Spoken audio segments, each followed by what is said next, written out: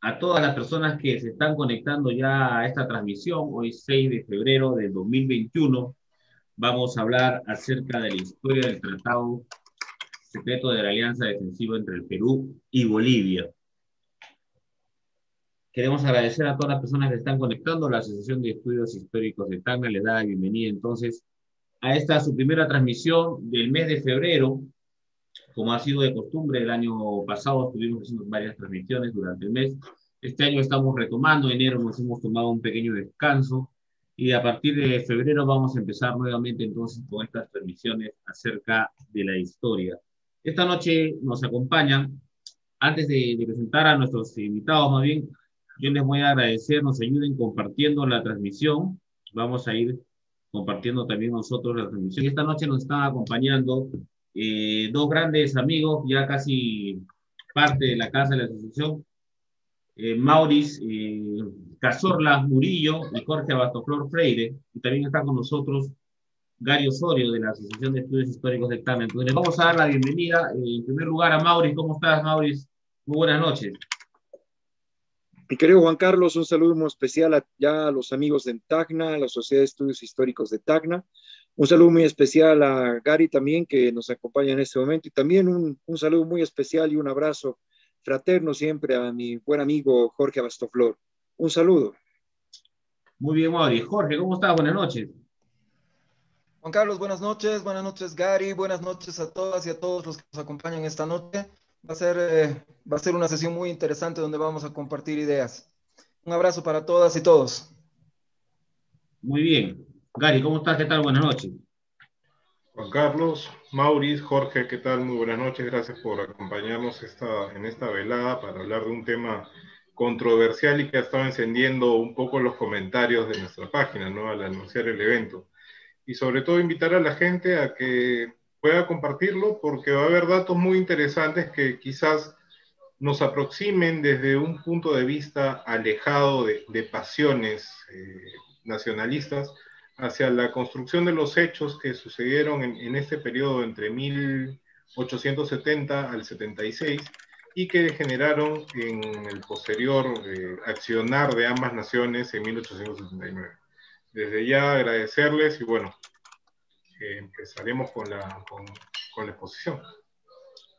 Muy bien, sí, eh, justo ayer conversábamos un poco antes de, de, esta transmisión acerca de cuál iba a ser la, la temática de, de, esta noche. Nos habíamos puesto un poco de acuerdo también para que la temática sea muy, eh, muy llevada directamente a la discusión, a ver un poco los datos que vamos teniendo. Entonces vamos a hablar hoy día, eh, 6 de febrero de 2021, estamos recordando una fecha importante, el 6 de febrero del año 1873, las naciones eh, del Perú y de Bolivia firmaban un tratado de alianza que también era llamado un tratado de defensivo o un tratado secreto, conforme a la última de sus disposiciones o conforme a la última de las cláusulas del tratado. La pregunta inicial que vamos a tratar de resolver entonces esta noche con, juntamente con Jorge, con Mauricio y con Gary es eh, ¿Por qué la necesidad de un tratado? ¿Cuál es, ¿Cuáles son los hechos, los acontecimientos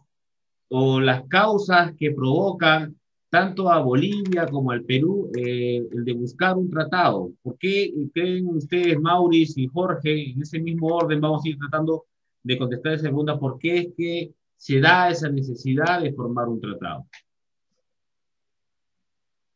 Bueno, yo Maurice, brevemente voy a, voy a referirme a esto con algo muy particular. En realidad el tratado eh, que ha sido firmado en 1873 eh, tuvo antecedentes en realidad en el gobierno de Morales, de Agustín Morales.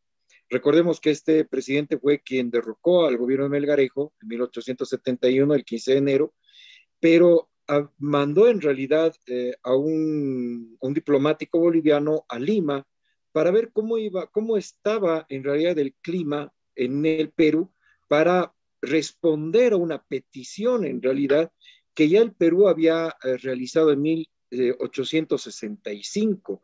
Eh, tomen, tomen en cuenta la guerra con España, había la necesidad también de generar una especie de acuerdo entre algunos países de América frente a lo que había pasado justamente de la guerra con, de, España con el Perú, en la cual recuerden ustedes que también Bolivia ha cooperado en, este, en, esta contienda. Entonces, frente a esa necesidad, eh, Bolivia había cambiado de gobierno ah, de, Melgarejo a, Morales. Y Morales en realidad da esta alternativa, pero lamentablemente Agustín Morales es asesinado por su propio sobrino Federico Lafalle. Eh, asume eh, la presidencia Adolfo Bolívar, ay, me olvidaba, cuando estaba de gobierno Agustín Morales, el que después fue presidente boliviano, Adolfo Bolivian, se encontraba en Londres negociando una, la compra de dos blindados para Bolivia. Pero cuestiones internas del país hizo que el Congreso boliviano, el Parlamento en realidad, no haya aprobado la adquisición de estos blindados por un solo voto. Ya en ese momento Bolivia pudo haber tenido incluso una marina de guerra que podía haber preparado para, para, para esta contienda. Sin embargo, eh, la intempestiva muerte de, de, Morales hizo que asumiera la, presidencia Tomás Frías y después, obviamente, el propio Adolfo Vallivian asume la presidencia. Pero estaban siguiendo en realidad la situación de, esas negociaciones que se tenía con el Perú, con el gobierno de Agustín Morales. Y en realidad quien estampa la firma eh, el 6 de febrero de 1873 es, es, es nuestro gobierno precisamente, pero atendiendo justamente a, esto, a este requerimiento que viene como un antecedente de la guerra de 1865. Esto simplemente como antecedente yo quería ponerlo un poquito en el tapete antes de entrar de lleno al contenido mismo del tratado. Muy bien, Maris interesante los datos que nos vas proporcionando. Este, este, en realidad entiendo que fue un empate, ¿no? En el Congreso, que termina siendo desempatado, me parece, por el presidente del Congreso boliviano. Jorge, ¿cómo estás? ¿Por qué teníamos que haber firmado un tratado? ¿Cuáles eran los antecedentes? ¿Cuáles eran las necesidades que tenía el Perú o que tenía Bolivia de firmar ese tratado? Uh, Juan Carlos, eh, la verdad es que, es que los dos países estaban con, una necesidad muy grande de, cubrirse las espaldas en aquel momento. Era un, tiempo muy, muy delicado y eh, quizás sería bueno ir, un poco por partes, ¿no? Eh, lo primero que quiero destacar es el hecho de que las relaciones entre Perú y Bolivia eran muy malas, eran malísimas. Eh, durante todo el siglo XIX en realidad fueron tremendamente malas, excepto por ese pequeño momento que eh, ya, lo, ya lo comentó Maurice, ese pequeño momento en el que establecimos una alianza americana, Perú y Chile primero, después Ecuador, después Bolivia, y entre los cuatro países enfrentamos la, la, la, guerra contra, contra España, que había tomado las islas peruanas de, de Chincha. Em, exceptuando este, este pequeño momento, durante todo el siglo XIX, las relaciones diplomáticas entre, entre, eh, entre las relaciones internacionales, en realidad, entre Perú y Bolivia eran tremendamente malas. Y de hecho, hemos llegado varias veces a la guerra, hemos tenido varios casos belli eh, que no se transformaron luego en, guerra, pero eh, esa era la situación. Entonces, partamos de ahí, es decir, normalmente se piensa que era una especie de arreglo natural, el que Perú y Bolivia lleguen a un acuerdo, pues no era tan natural. Realmente habían muchos problemas entre los dos países y llegar a un acuerdo de ese tipo costó bastante tiempo y también bastantes, eh, bastantes negociaciones. Em, yo, quisiera, yo quisiera comenzar diciendo que en el caso de Bolivia, eh, después de haber tenido una década en la que, en la que eh, el poder militar boliviano realmente experimentó una, gran expansión la década de los años 30. Después Bolivia mantiene ese poder militar en la década de los años 40 del siglo XIX y luego en la década de los años 50 del siglo XIX. En la década de los años 60 comienza un declive, un declive del, del, poder político, económico, militar, eh, social inclusive boliviano que hace que el Estado boliviano en su conjunto se vaya debilitando paulatinamente. Y eh, ese debilitamiento, ese debilitamiento va a ser de alguna manera detenido, detenido, eh, em, eh, vamos a decir, en parte por el hecho de que se comienza a, explotar y a exportar el, guano y el salitre en, la región de, Mejillones. Es decir, eh, esa riqueza natural comienza a inyectar algo de dinero a la economía boliviana que estaba muy necesitada de, capital para poder, para poder subsistir. Entonces, en ese momento, en ese momento el Estado boliviano comienza a a girar, si ustedes quieren, en torno al, a la exportación de guano y de salitre. En esa misma época, en esa misma época, el Perú se había convertido en el primer exportador mundial, tanto de guano como de salitre. Y eh, obviamente las exportaciones que tenía el Perú en, aquel momento de, de, guano y de salitre eran, eran fabulosas y eh, Bolivia de alguna manera se, enganchó de, este, de, esta bonanza eh, económica, de esta demanda internacional que había de, guano y de salitre. Podemos conversar eh, acerca, acerca de la naturaleza de esta demanda posteriormente, pero se engancha en este, en este carril y, por supuesto, comienza la situación del Estado boliviano a ligeramente, ligeramente mejorar.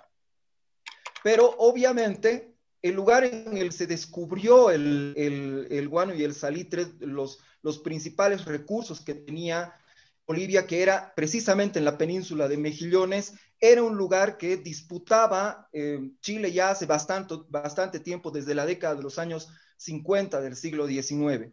Era entonces, desde, desde el punto de vista de Chile, e, ese territorio suyo, pero para Bolivia ese territorio estaba, estaba dentro de, su, de su soberanía. Eh, Bolivia firma un tratado con, Chile en el año de 1866 y se establece que la línea de frontera va a ser el, paralelo 24 de latitud sur, pero Chile eh, quería, eh, quería expandir esa, esa influencia hasta el grado 23, que era precisamente el lugar en el que se encontraba la península de Mejillones, entre el grado 23 y el grado 24.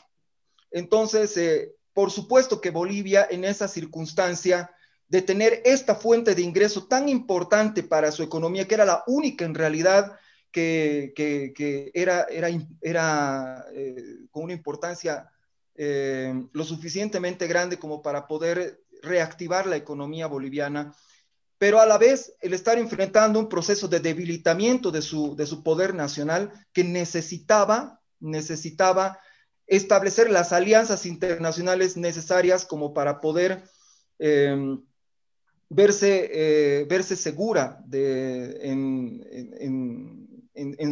la protección de esa riqueza que tenía en el Océano Pacífico.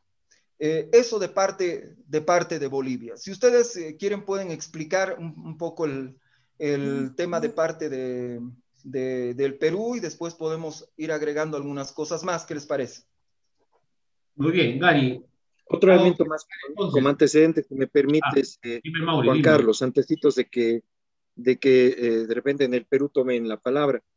Eh, en realidad también fue, y esto no sé si ustedes me van a ayudar a confirmar del lado del Perú, pero en realidad había una, una susceptibilidad por el hecho también de que el departamento de Tarapacá estaba explotando el guano y el salitre, no uno de los departamentos más ricos en realidad en Guanisalito, como lo dijo Jorge, ¿no? Fue el primer exportador en realidad en ese tiempo.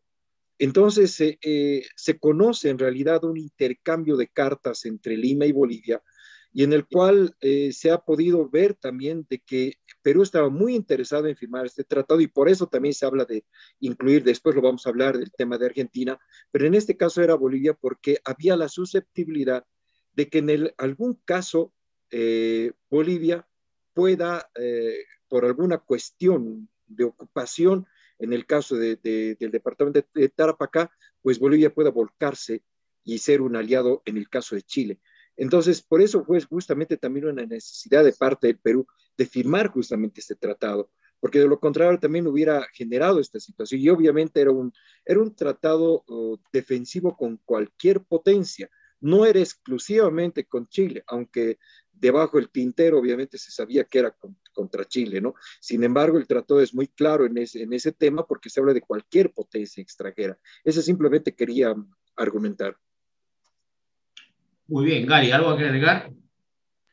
Bueno, eh, básicamente tenemos que entender el contexto desde 1860 en adelante, ¿no? Eh, las relaciones entre Perú y Bolivia, eh, vagan verdades, se debilitaron a raíz de la lucha contra la Confederación. Sin embargo, la visión en el sur del Perú era distinta porque se seguía haciendo el puente comercial para el feble boliviano, que venía con ciertas restricciones, con lo cual la única salida a la economía boliviana eran las zonas de comercio de Tacna, Arica, Tarapacá, inclusive comerciar el feble con, con Chile.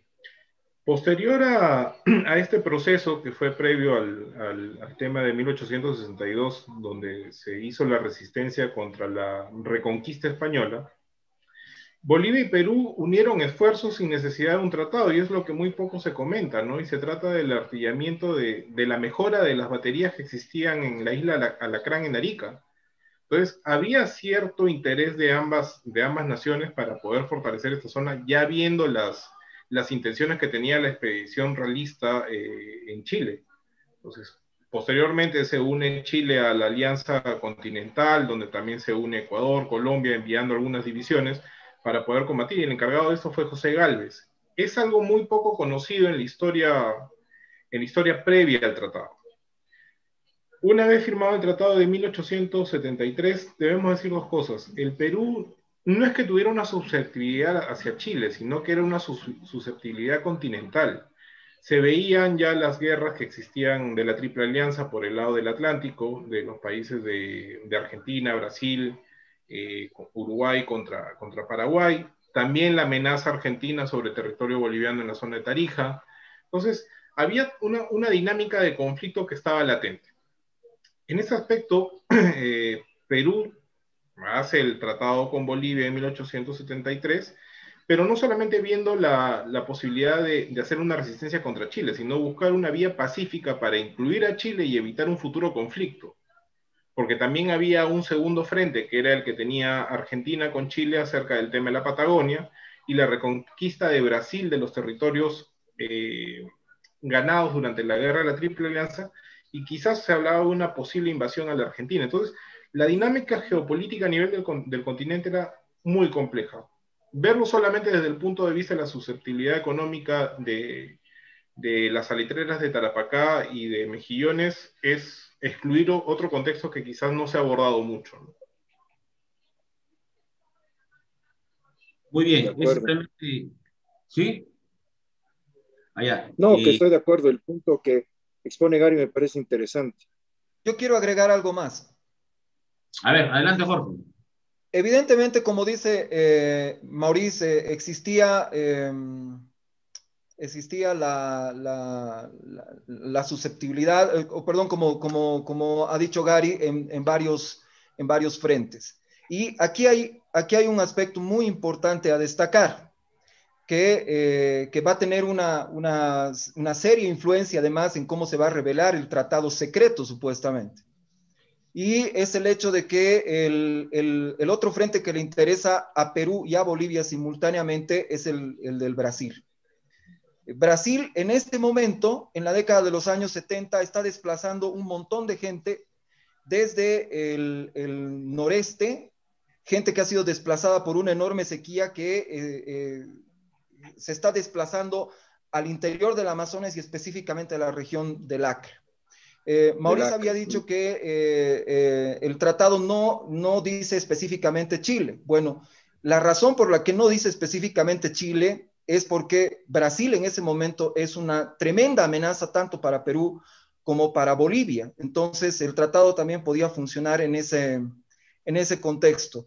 Es en la década de los años 70 que el Acre se va a poblar de, mucha gente brasileña, también gente de otros lugares, pero sobre todo gente gente brasileña. Y eh, por supuesto que era una preocupación constante tanto para, para Bolivia como para, como para el Perú, el detener el avance que estaba experimentando el Estado brasileño por ese, por ese frente. Entonces, em, aquí lo, lo, quiero remarcar, ¿no? En, en, la historiografía chilena, ellos, eh, bueno, o sea, este mal latinoamericano de que todos nos quieren hacer daño, de que somos las víctimas, siempre los demás eh, eh, quieren algo de nosotros, etcétera. Esta cosa que tenemos aquí en la cabeza, en, especialmente en Sudamérica, tenemos que sacarla y, analizar el contexto realmente como, como, como se produjo, ¿no? Entonces, eh, habían muchas amenazas en ese, en ese momento y yo entiendo, yo entiendo que el tratado fue firmado pensando en Chile, pero también pensando en el Brasil, porque eran dos amenazas muy parecidas que estaban afectando a los dos países al mismo tiempo. Adicionalmente a esto, Argentina, que se suponía que tenía que ingresar también en esta alianza, en este pacto defensivo, estaba a punto de llegar a la guerra con, con el Brasil, porque todavía no se había firmado el tratado de, límites producto de la, guerra de la Triple Alianza. Entonces Argentina y Brasil estaban a punto de, llegar a la guerra. Y Chile y Argentina estaban a punto de llegar a la guerra, como ha dicho Gary, por el tema de la Patagonia. De hecho, el gobierno peruano intercedió entre, eh, ante los dos gobiernos para que no se produzca una guerra entre, entre Chile y Argentina. Ojalá los hubiesen dejado que se, que se agarren entre, entre los dos, pero el gobierno peruano se metió para precisamente evitar que el conflicto llegue a mayores. El, eh, de hecho, de hecho un, año antes de la guerra del, del Pacífico, la Armada Argentina destruyó los, eh, los fortines que había fundado Chile en la Patagonia. Entonces, era mucho más probable en ese momento que Chile y Argentina lleguen a la guerra que la guerra se produzca en el, en el Pacífico. Una cosa que quería agregar a lo que comentó Jorge, y era la visión latinoamericanista que mantenía Prado y mantenía básicamente la clase política peruana. Era un tema un poco utópico de la Unión Sanmartiniana, ¿no? De mantener un bloque ante una amenaza extranjera. Sin embargo, lo que debemos eh, empezar a, recordar es lo siguiente, ¿no? Hace poco un historiador y ex congresista decía, ¿no? ¿Cómo es posible que tengamos, que hayamos, tenido un presidente chileno? Refiriéndose a, a Mariano Ignacio Prado. Y habría que recordarle o clarificarle a este señor que Mariano Ignacio Prado no era chileno, sino que fue condecorado como general y héroe de guerra en Chile como lo fueron muchos de los oficiales que participaron en la Guerra del Pacífico, tanto peruanos, bolivianos y chilenos, que fueron reconocidos como héroes por los tres países. Y sin embargo, durante la Guerra del Pacífico, a pesar de que peruanos eran héroes en Chile, que bolivianos eran héroes en Chile, chilenos eran héroes en Perú o en Bolivia, igual se mataron en los campos de batalla. Entonces, el problema de la negociación nunca fue una base hacia la seguridad interna de cada país sino fue mantener bloques latinoamericanos. Y quizás es algo que se está, se está volviendo a construir, ¿no? Ante los escenarios de posible conflicto que se presenten en la región. Y muchas veces la historia nos está demostrando que las pandemias, los sismos y la guerra son cíclicas en Latinoamérica. Básicamente esa cosa. Otro, otro, otro elemento interesante que tú mencionas, Gary, la verdad la guerra con España es algo que muy poco, muy poco, casi nada se ha estudiado. Efectivamente, para ese año, para esa década de 1860 al 70, eh, ¿cuántos países habían suscribido, habían suscrito, perdón, eh, tratados de límites? Bolivia apenas lo había hecho con Chile y el Brasil. Con Perú no habíamos firmado un tratado. Vuelvo un poco a lo que Jorge decía al principio, de que con el Perú hemos tenido más tensiones que con Chile, ¿no? Eh, la guerra de, que, donde muere Gamarra, en realidad en la, batalla de Ingavi, los uh, posteriores conflictos y además ese, esa, el territorio que entró en conflicto en el norte, justamente bajo la, la, presencia del, del, Brasil. Pero lo más interesante en este, en este contexto era que en realidad el tratado también era una, y en algún momento algún autor como Alberto Gutiérrez en Bolivia y otros autores también lo, comentan, era una especie de reivindicación al antiguo, a la antigua confederación, porque se pretendía, y, recuerden ustedes muy bien, que en 1880 ya se plantea en el Congreso boliviano el tema de suscribir un nuevo tratado de confederación Perú-Boliviana, pero también en Bolivia, como hubo en la confederación en la época de Santa Cruz, hubo también mucha oposición, especialmente en la parte de la oligarquía minera del sur, que no estaba de acuerdo, porque nunca, nunca estuvieron justamente en ese contexto. Entonces, eh, Perú y Bolivia no habían suscrito un tratado de límites, no tenían claro, no había, o sea, no habían fronteras definidas entre los dos países. Y obviamente, hasta el día de hoy, la gente cruza la frontera como si fuera el propio país, porque en realidad no estaba muy bien definido este proceso. Si con Chile se había suscrito este tratado, bien lo dijo Jorge, en realidad todavía se, y obviamente Mejillones incluso ya estaba poblada por eh, muchos ciudadanos chilenos, ¿no? Y es más, antes del Tratado de 1866, en realidad ya, ya Mejillones se había establecido con mucha población chilena. Entonces había una necesidad de reivindicar ese espacio que había, que, que tenía una población humana eh, chilena, desde, obviamente, que querían traer hacia el lado del Estado eh, chileno. Entonces, con, estos antecedentes, más con el Brasil, con quien se había firmado también otro tratado, que en realidad había, se habían definido límites muy interesantes, en realidad, pues entraba un poco en conflicto también la situación con el Perú, porque, el, porque sobre la base de lo que el Perú también estaba detentando cierta, cierta aspiración territorial, ese espacio geográfico fue cedido a Bolivia. Entonces, eso también fue otro elemento que influyó también para poder arreglar este, este proceso a través de estos acuerdos diplomáticos. Y uno de estos elementos de estos acuerdos fue justamente el Tratado de 1873. Una, una cosa que, que acotar a, a, lo que indica Maurice, ¿no? y es, es algo que muchas veces no se ha tomado en consideración. Y es que básicamente el tratado defensivo fue el devenir filosófico que se tuvo desde la época de la colonia, ¿no? el tema de la, de la plata, el tema de Charcas y el tema del virreinato del Perú, como un eje transversal pacífico-atlántico. Y básicamente los políticos liberales eran los que querían promover este corredor y mantener esa estructura.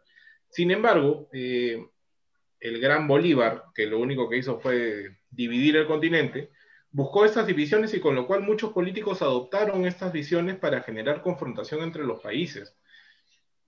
La naturaleza que se da la dinámica social entre la zona sur, hablemos, Tacna, Arica, Iquique, con, el, con la zona de, de Bolivia y el norte argentino, es una, una, una dinámica social natural, que lamentablemente se ha visto comprometida por factores políticos. Entonces podemos decir una cosa, de que el Tratado del, 73 es una concretización filosófica de un, de un pensamiento que se había plasmado durante la colonia en la corriente independentista, que lamentablemente la, la falta de, eh, de determinación del presidente en el exilio de Argentina por no firmar este tratado, ¿no? Y concretar un bloque monolítico para frenar cualquier posibilidad de conflicto futuro.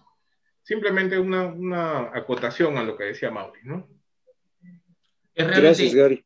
interesante todo lo que están eh, señalando. Yo me he quedado atento, escuchándolos a todos. Yo tengo en mis manos eh, este libro que está aquí, que es Historia del Tratado Secreto de Alianza Defensiva entre el Perú y Bolivia. Se escribió en el año 1979, 100 años después de la, de la guerra. Lo escribe José Pardo Ibarreda, hijo de Manuel Pardo, y lo escribe un poco en defensa pues, de Manuel Pardo, porque Manuel Pardo, recordemos que es presidente eh, del Perú, si no mal recuerdo, el primer presidente civil, después de una serie de militarismos que tuvimos dentro de, nuestra, nuestro país, y es recordado mucho, eh, tristemente, por algunos historiadores, por ser el presidente que firmó este tratado en el año 73. Y yo quería, eh, antes de pasar de tema, dar algunos puntos también que me parecen interesantes. Eh, tanto Perú como Bolivia e incluso Chile son naciones bastante jóvenes, son estados en creación, son eh, países que comienzan a, primero, a tratar de formar una identidad que incluso para muchos historiadores hasta el día de hoy no la hemos logrado, por lo menos el Perú, para muchos historiadores sigue siendo aún ese país adolescente que marcaba Luis Alberto Sánchez estábamos formando, eh, formar una entidad y sobre todo de establecer un, desarrollo económico dentro de, nuestra, de nuestros países, ¿no? Eh, y también un tema de fronteras que ustedes lo decían, hasta ese momento las fronteras habían estado un poco claras, por lo menos hasta el 60 o antes un poco claras, porque habíamos manejado un poco la eh, jurisdicción que nos había heredado el virreinato español. Nadie se quejaba en contra de eso. Eh, y creo que gran parte del problema nace, como lo dicen algunos historiadores, cuando se descubre que en Atacama hay ese fabuloso o miserable para algunos eh, guano y salitre. Triste para el Perú, porque a pesar de que Jorge bien dice que el Perú se llenó de dinero con el guano y con el salitre de manera posterior, esto fue también económicamente un desastre para nosotros porque pasamos a depender única y exclusivamente de un solo recurso, de manera tal que las arcas del Estado solo dependían del guano y del salitre.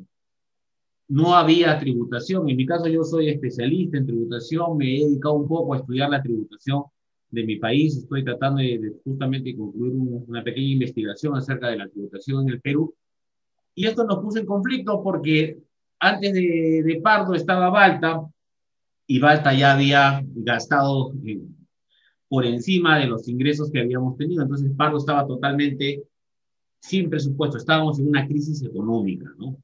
Entonces, eh, la gran pregunta aquí es, el problema eh, inicial, eh, para mí, y, de acuerdo a lo que he podido leer, está establecido en los límites fronterizos, como lo decía Mauri, ¿no?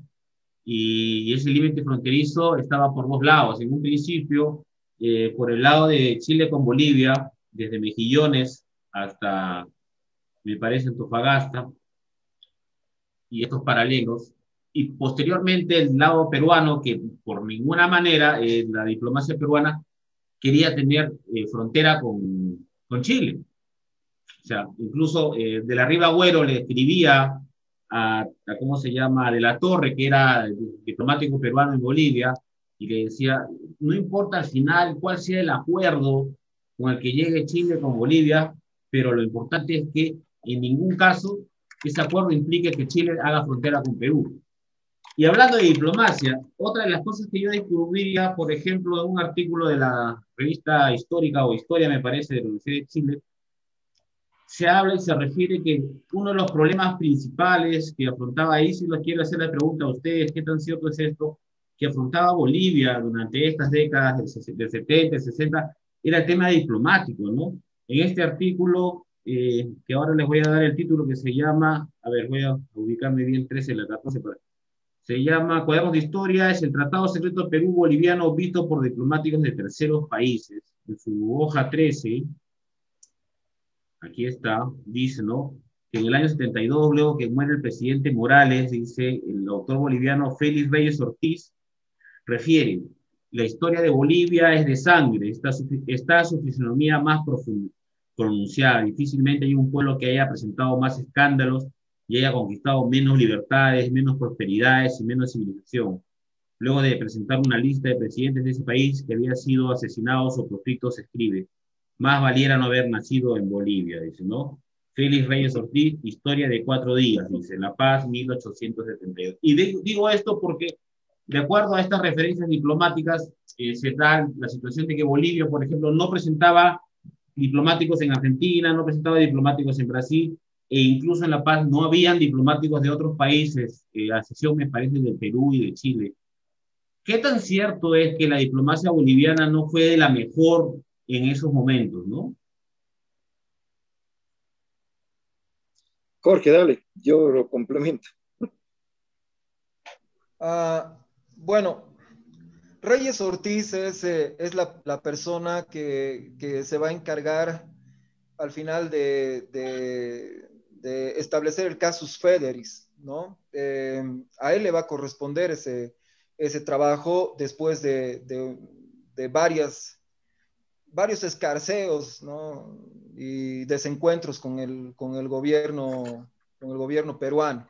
Entonces, yo entiendo perfectamente la frustración que ha debido sentir él. Y, normalmente es, eh, es, es, así, es, eh, los políticos eh, cuando, cuando dejan el poder comienzan a, a escribir sus memorias y, y, y, se, la, se la, no sé, pues se la juegan como historiadores.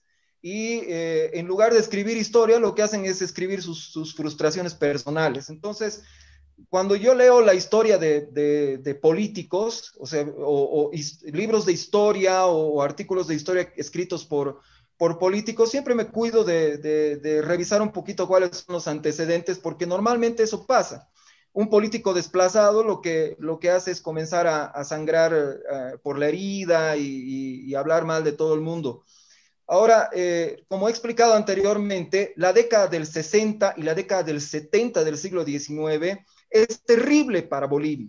Es terrible. La década del 70 peor que la década del 60 ahí eh, tenemos tsunamis, tenemos, eh, eh, tenemos sequías, tenemos peste bubónica, tenemos, tenemos de todo y, se muere un montón de gente.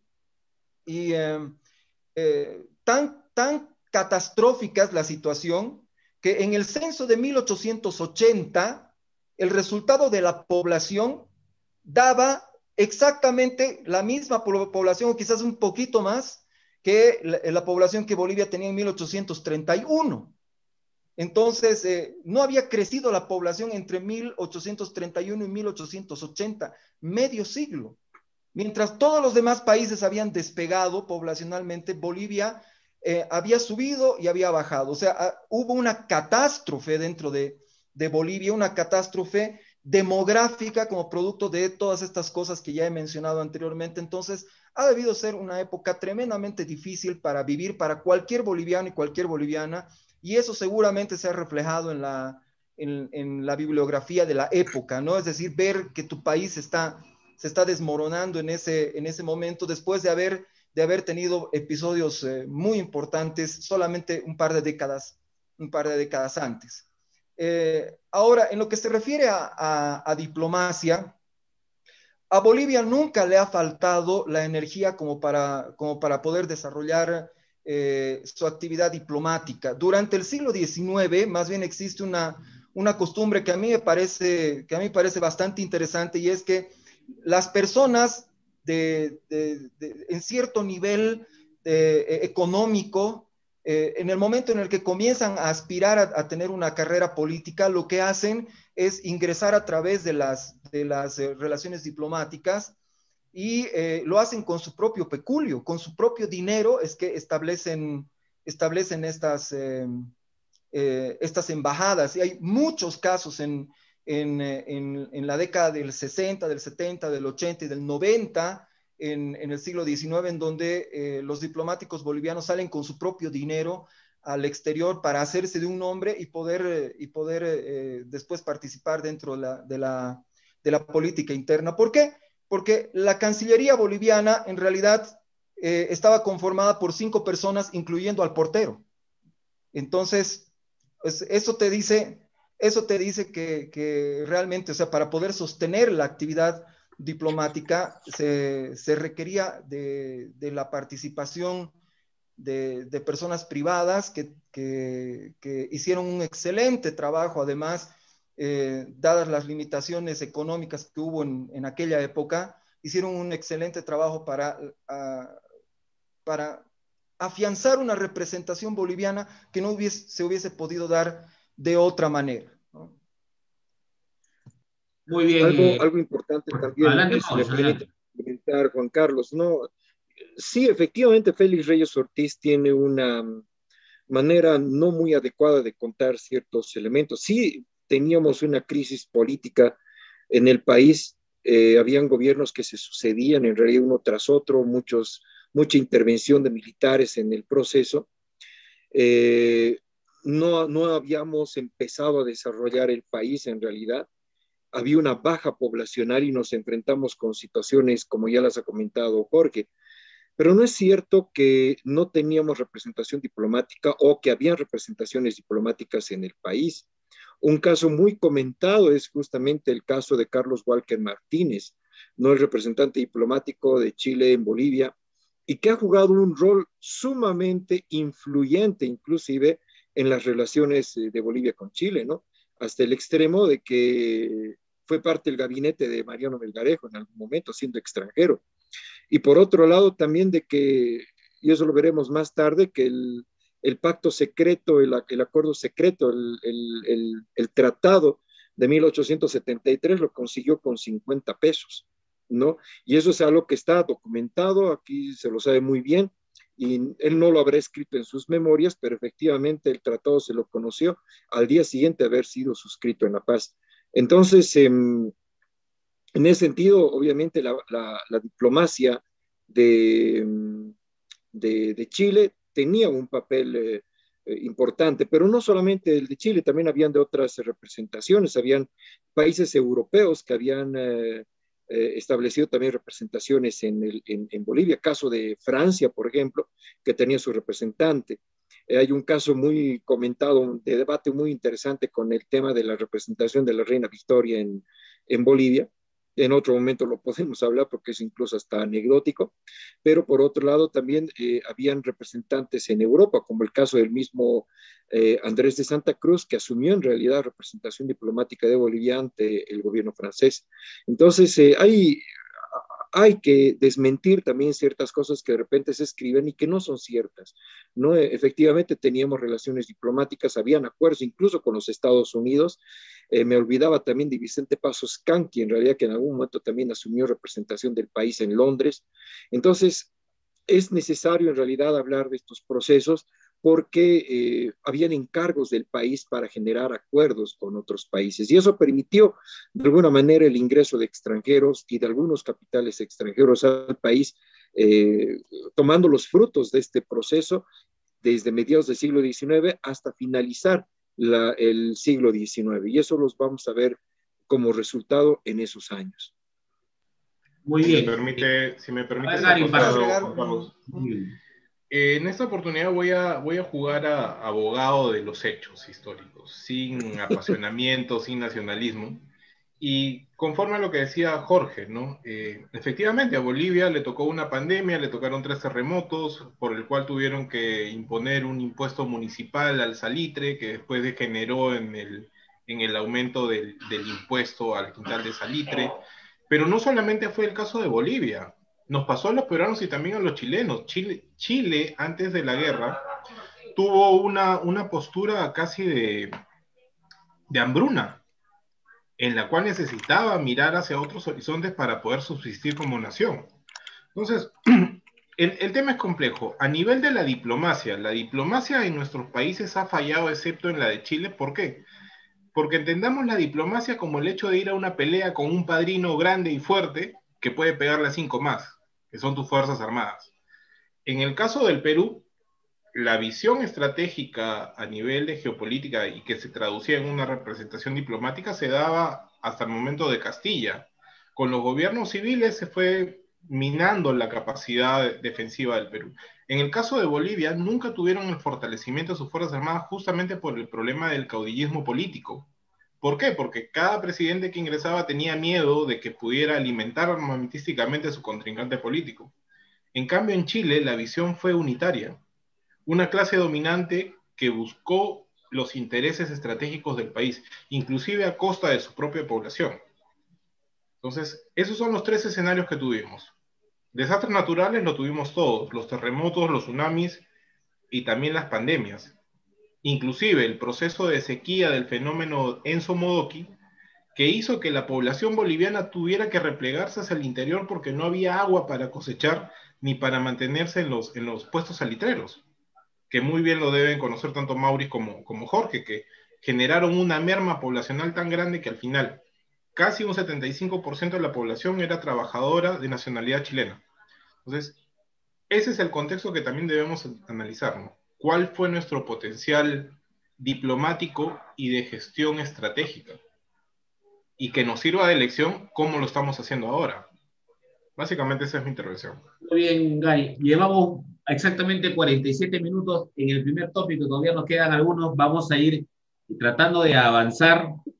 Eh, me queda claro de que el, gran problema de, de, Perú, Chile Bolivia era uno que no teníamos recursos económicos, ni Chile, ni Perú, ni Bolivia, eh, que estábamos eh, recién naciendo como, como Estado, como nación, y que dentro de esto eh, se dieron estos grandes problemas limítrofes, ¿no? El, gran problema de, de, la salida al mar de, de Chile con Bolivia y el, el, otro que tenía Perú, de que no quería tener de vecino, pues, a Chile, por lo menos así lo manifestaba plenamente arriba del Agüero en sus cartas de, de Cancillería.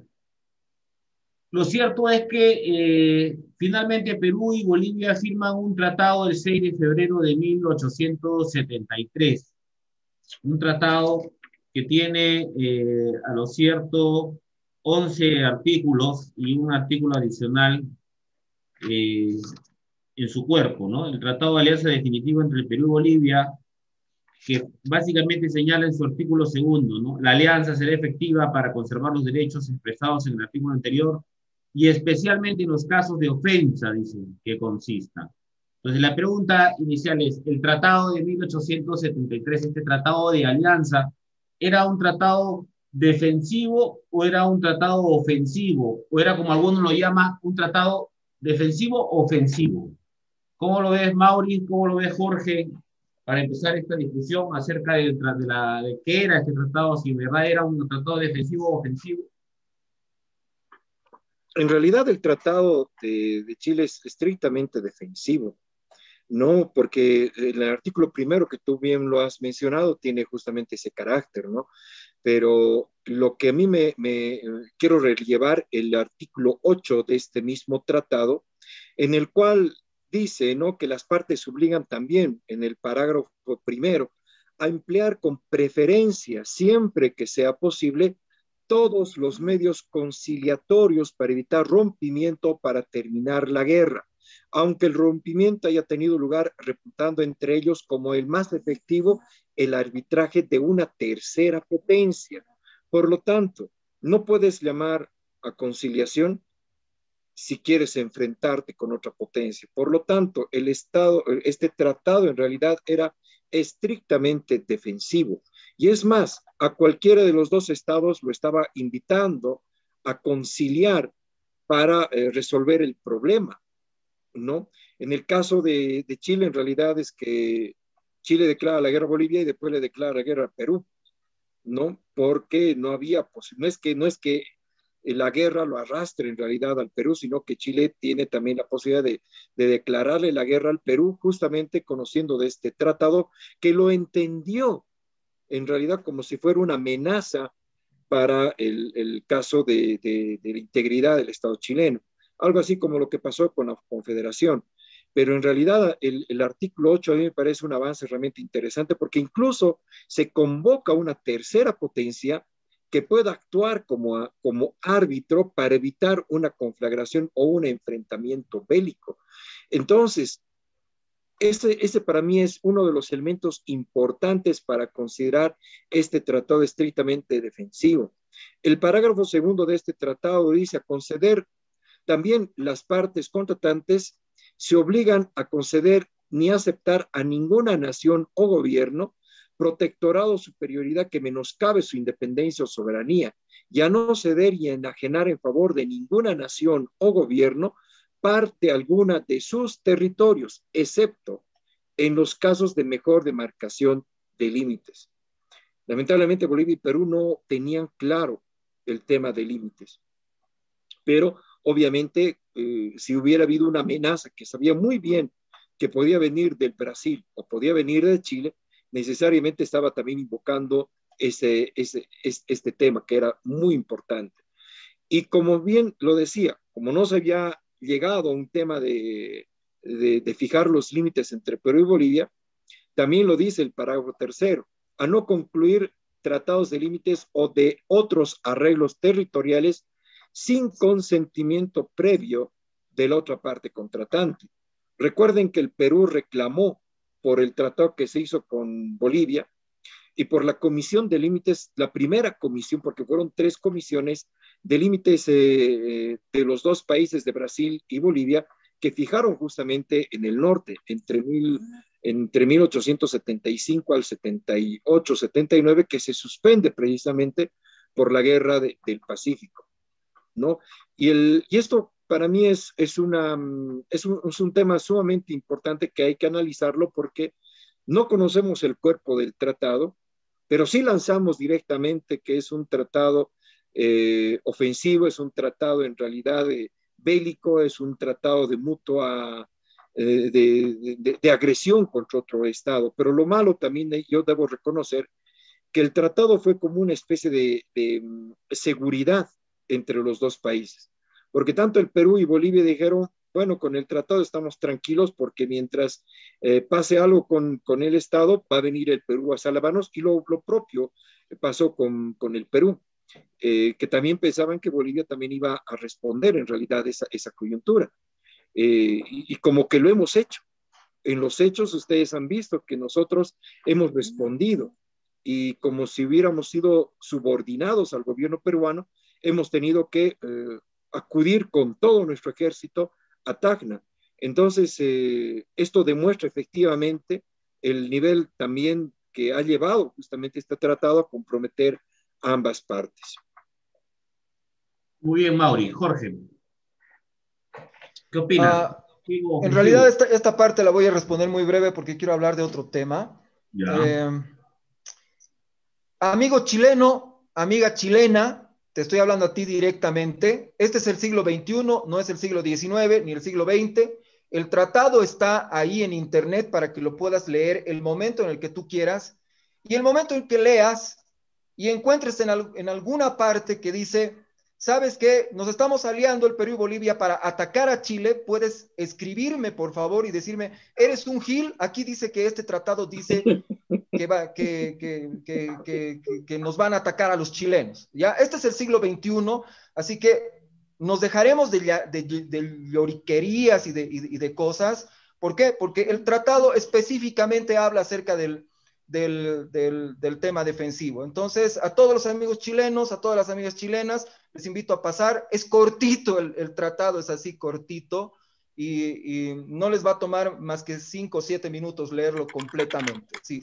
El tratado es defensivo y además Chile no es el único enemigo que tienen Perú y Bolivia en ese momento. Ya, ya les he hablado acerca de Brasil, que es mucho más peligroso además en 1875 eh, eh, o, o, a mediados de la década del 70 tanto para Perú como para Bolivia, de lo que podría ser Chile en ese momento. Chile tiene problemas más grandes que, que Perú y Bolivia en, eh, en la primera mitad del, de la década del 70 del siglo XIX. Así que, amigos chilenos, amigas chilenas, pasen por favor a leer el, el tratado y después, después eh, no sé, me escriben si quieren. Ya, eh, quiero hablar acerca, hemos hablado del contexto, hemos hablado del contexto de cómo, se va fraguando el, tratado y aquí obviamente les quiero decir que eh, me parece, me parece que es Bolivia la que propone el, el tema del tratado en, en, primera instancia. Al Perú no le interesa en un principio eh, firmar rápidamente este tratado, pero para 1872 ocurre algo muy importante y esto, y esto es necesario decir. En 1872, para octubre, ya se han encargado los eh, dos blindados eh, el, gobierno chileno ha encargado los dos blindados a Inglaterra, que eh, son o van a ser el Cochrane y el Blanco Encalada. Ya, entonces, el Perú en ese momento, en ese momento dice, ah, tenemos este tratado, entonces, a ver, nos agarraremos por acá porque eh, Chile está comprando, está comprando un, un, par de blindados y esos blindados son más poderosos que los, que los dos blindados que tenemos, que tenemos nosotros. Pero hay algo más aquí. Y para mí, eh, hay, más importante que el, que el, tema de los 10 centavos al quintal de salitre es el tema de la, de, de la ley del estanco que eh, está tratando el gobierno peruano desde fines de 1872, eh, o, o, perdón, durante todo el, el, año de 1872 y eh, cuando se, se, se, establece la ley del estanco. La ley del estanco se establece el, eh, el 18 de enero de 1873. Cuando se perfecciona la ley del estanco de 1873, el 6 de febrero de 1873, el mismo día, el mismo día que se firma el, el eh, Tratado de Defensa entre Bolivia y Perú. El mismo día se perfecciona el tratado. Ahora, díganme ustedes que esa, es, esa Cámara que está tratando, ese Congreso que está tratando eh, est estas cosas no las, está, no, no las está viendo paralelamente. ¿Por qué se firma el Tratado de Defensa Mutua? Porque el Perú lo que está haciendo es establecer un monopolio sobre, sobre su guano y su salitre. O sea, no estamos hablando de 10 centavos de, de, de, de impuesto, estamos hablando del control, del control del Estado peruano sobre todo su guano y todo su salitre. Al final, eh, todo, todo esto se va a perfeccionar en mayo de 1875 con otra ley que definitivamente en, nuestra, en nuestra digamos, con nuestro léxico actual diríamos que el, Estado peruano termina de nacionalizar el guano y el salitre para 1875. Pero, pero tanto la ley del estanco del salitre como la, eh, el pacto de defensa se perfeccionan el mismo día. Así que díganme que las dos cosas no tienen, no tienen relación la una con la otra. Jamás en la vida, por ningún motivo. Las mismas personas que estaban hablando del pacto de defensa están acerca de, la ley de estanco. ¿Por qué? Porque el Perú está en proceso de nacionalizar la eh, explotación y exportación del, del salitre. Y claro, o sea, como, como, como están, le están metiendo la mano al bolsillo al, al, Estado chileno, me parece que en este momento el Estado chileno tiene 2.000 estacas o las empresas chilenas tienen como 2.000 estacas dentro de, de, de, de, territorio, territorio peruano, lo cual era tremendamente importante. Entonces les está, le estaban metiendo la mano al bolsillo al, a los empresarios del Estado chileno. Eh, esa, esa aclaración quería hacer yo. Las dos cosas, el tratado de, de, el estanco del salitre y el pacto de defensa se perfeccionan el mismo día, 6 de febrero de 1873, un día como hoy. Y eh, esa es la razón por la que el Perú firma el pacto eh, de defensa mutua. No es por cariño, no es por amor, no es por cooperación, por hermandad, ni nada por el estilo. Lo que, lo que pasa es que el Estado peruano sabía que el Estado chileno iba a tener alguna reacción en algún momento y esperaban que esta alianza, que se iba a extender supuestamente hacia la Argentina, iba a neutralizar eh, cualquier voluntad de parte, de, parte de, parte de Chile. Pero Chile ya estaba embarcada en un proyecto bélico precisamente eh, marcada por el hecho de que en 1872, en octubre, ya se oficializa la, la compra de los, eh, de, los, de los blindados que van a ser el Cochrane y el Blanco Encalada. sí, y además no se puede culpar, perdón, Carlos, no se puede culpar al presidente Pardo de haber suscrito el tratado. Está el Congreso que aprobó el tratado en realidad. No, y, y estamos viendo en realidad que simplemente el, para promulgar en realidad la ley que aprobaba el tratado, solo lo ha hecho el presidente, pero no es el único responsable. No puedes tampoco ceder y bajo este antecedente que Jorge menciona, creo que había una necesidad y tiene razón, o sea, no era solamente por, le ayudaremos a este pobrecito boliviano en, apoyar con un tratado, a ver si algo le hacen, le vamos a ayudar, como si fuera el hermano mayor. Creo que habían otro tema, otros temas de por medio en realidad que condicionaban justamente y la idea era obviamente eh, implicar al, tema de Argentina, pero no se da porque en realidad Argentina tenía intereses sobre lo que fue Tarija. Nunca renunció en realidad al, departamento de Tarija. Y la contrapropuesta para que Argentina pueda eh, ser parte de ese tratado fue precisamente poner en tapete la cuestión de Tarija, porque a Argentina le convenía. Entonces, eh, por supuesto, Bolivia rechazó y de alguna manera también es que no, no prosperó el acuerdo de la, alianza con Argentina. Y además tomen en cuenta que Argentina había salido recién de la guerra de la Triple Alianza contra el Paraguay, estaba en realidad envalentonada de haber dado eso, pero también tenía una situación eh, inestable en cuanto a su propia política. Entonces, eh, el pedir en realidad esta, esta contra, porque fue parte de las negociaciones del tratado, el poner sobre la mesa de negociación el problema de Tarija y nunca renunciaron. Y esto alcanzó justamente incluso hasta finales del siglo XIX. Muy bien, eh, yo también estoy convencido de que Perú no va eh, como el gran hermano a, firmar el tratado, ¿no? pero eso se da por una situación que eh, le explica básicamente o está explicada en las comunicaciones de la Cancillería de la época, ¿no? el gran temor es el siguiente, si, si, Bolivia y Chile van a, a, una guerra, se puede dar la, la ocasión de que nosotros termináramos siendo vecinos de Chile, ¿no? Y creo que la otra parte la respuesta de por qué no queremos ser vecinos de Chile la tiene la dio Jorge cuando hablamos del estanco del, salitre, ¿no? Eh, no nos convenía, ¿no? Es más, Bulnes eh, sostiene dentro de su teoría de por qué Perú y Chile querían atacar a Perú y Bolivia, disculpen, querían atacar a Chile, es porque querían eh, convertir a Chile simplemente en un, en un país sin, sin, ningún tipo de recursos, ¿no?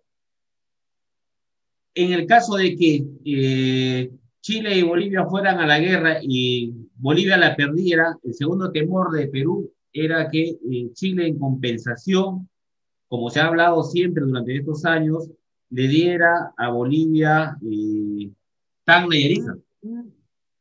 ¿No? Entonces, Perú estaba yendo no solamente a defender al hermano boliviano, sino también estaba yendo a defender sus intereses porque entendía y comprendía que una derrota boliviana implicaba perder probablemente Tacna y Arica en una guerra, ya no de Perú-Bolivia contra Chile, sino en una guerra de Perú contra Bolivia y Chile. Y contra ese, ese, es el otro temor que tiene la, la, la diplomacia peruana, el Estado peruano, que también hay que recordar que cuando hablamos del Estado peruano hoy en día, eh, nosotros estamos hablando de todas sus regiones y de todo su territorio, pero en aquella época el Estado peruano era solamente Lima, ¿no? El, Perú, la diplomacia, el Estado lo manejaba Lima, y los grandes problemas que se estaban por enfrentar eran los problemas de la oligarquía limeña, ¿no?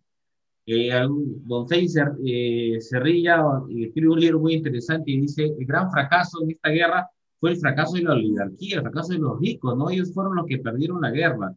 Entonces, esto es, es muy interesante, eh, pero se cree, eh, definitivamente el tratado fue eh, un tratado defensivo, pero la pregunta, vamos a devolverla, vamos a voltear la pregunta. Eh, eh, creo que todos estamos de acuerdo en que fue defensivo. ¿Y por qué no ofensivo? si hubiera sido ofensivo, Chile había mandado, yo tengo sí en mi fuentes una, una diferencia con lo que dice Jorge, había mandado a construir los blindados en febrero del 71, no del 72, pero son discusiones de fuentes seguramente, pero, ¿por qué no ofensivo? Si hubiéramos querido ser ofensivos, ¿por qué no hicimos la guerra inmediatamente antes de que llegaran los dos blindados que le iban a permitir a Chile tener el poder naval? ¿Por qué no hacerlo cuando Perú todavía mantenía ese poderío naval? ¿No? Si hubiera sido ofensivo, lo lógico es que Chile y Bolivia hubieran realizado actos de guerra de manera inmediata, ¿no? Yo creo que esa es la, pregunta que nos va a ayudar definitivamente a, a, desterrar esa posición de que Bolivia y Perú firmaban un tratado para atacar a Chile. Me pareciera que ese es el lado indicado, ¿no? Preguntarnos, oye, si queríamos atacar, ¿por qué no lo hicimos? ¿Por qué no lo hicimos? ¿Estuvimos esperando a Argentina? ¿Creen ustedes que estuvimos esperando a Argentina? Argentina quería firmar el tratado. Argentina sí quería firmar el tratado, ¿no?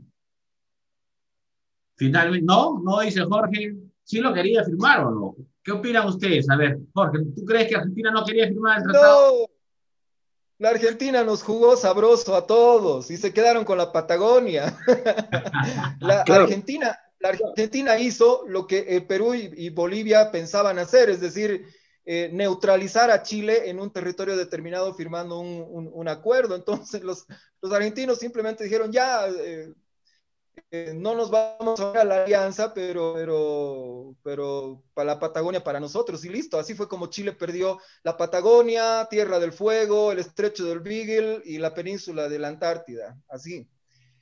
A, los chilenos no les han contado todavía esa historia, porque el momento en que les cuente se van a espantar de lo que perdieron por hacer una guerra en el norte de su país, que al final, un, una guerra que los llevó a la pobreza, que los llevó a terminar el siglo XIX prácticamente mendigando. Entonces, algún día les van a contar, pero la Argentina manejó muy bien su diplomacia en, ese momento, rechazó estar en el, en el, en, el acuerdo, a, Perú le, le, puso unas trabas, a Bolivia, como ya lo ha dicho Maurice, le, dijo, sí, está bien, eh, nos unimos a la, a la alianza, pero eh, pero se van a respetar los, eh, los del Uti Posidetis de 1810, lo cual significaba que Bolivia debía devolver Tarija y devolver Chichas, el sur de Potosí, a, la Argentina, cosa que al final, al final no sucedió, ¿no? o, sea, plantearon cosas que eran irresolubles, por incluso había habido guerras, Bolivia le ganó una guerra a Argentina para, para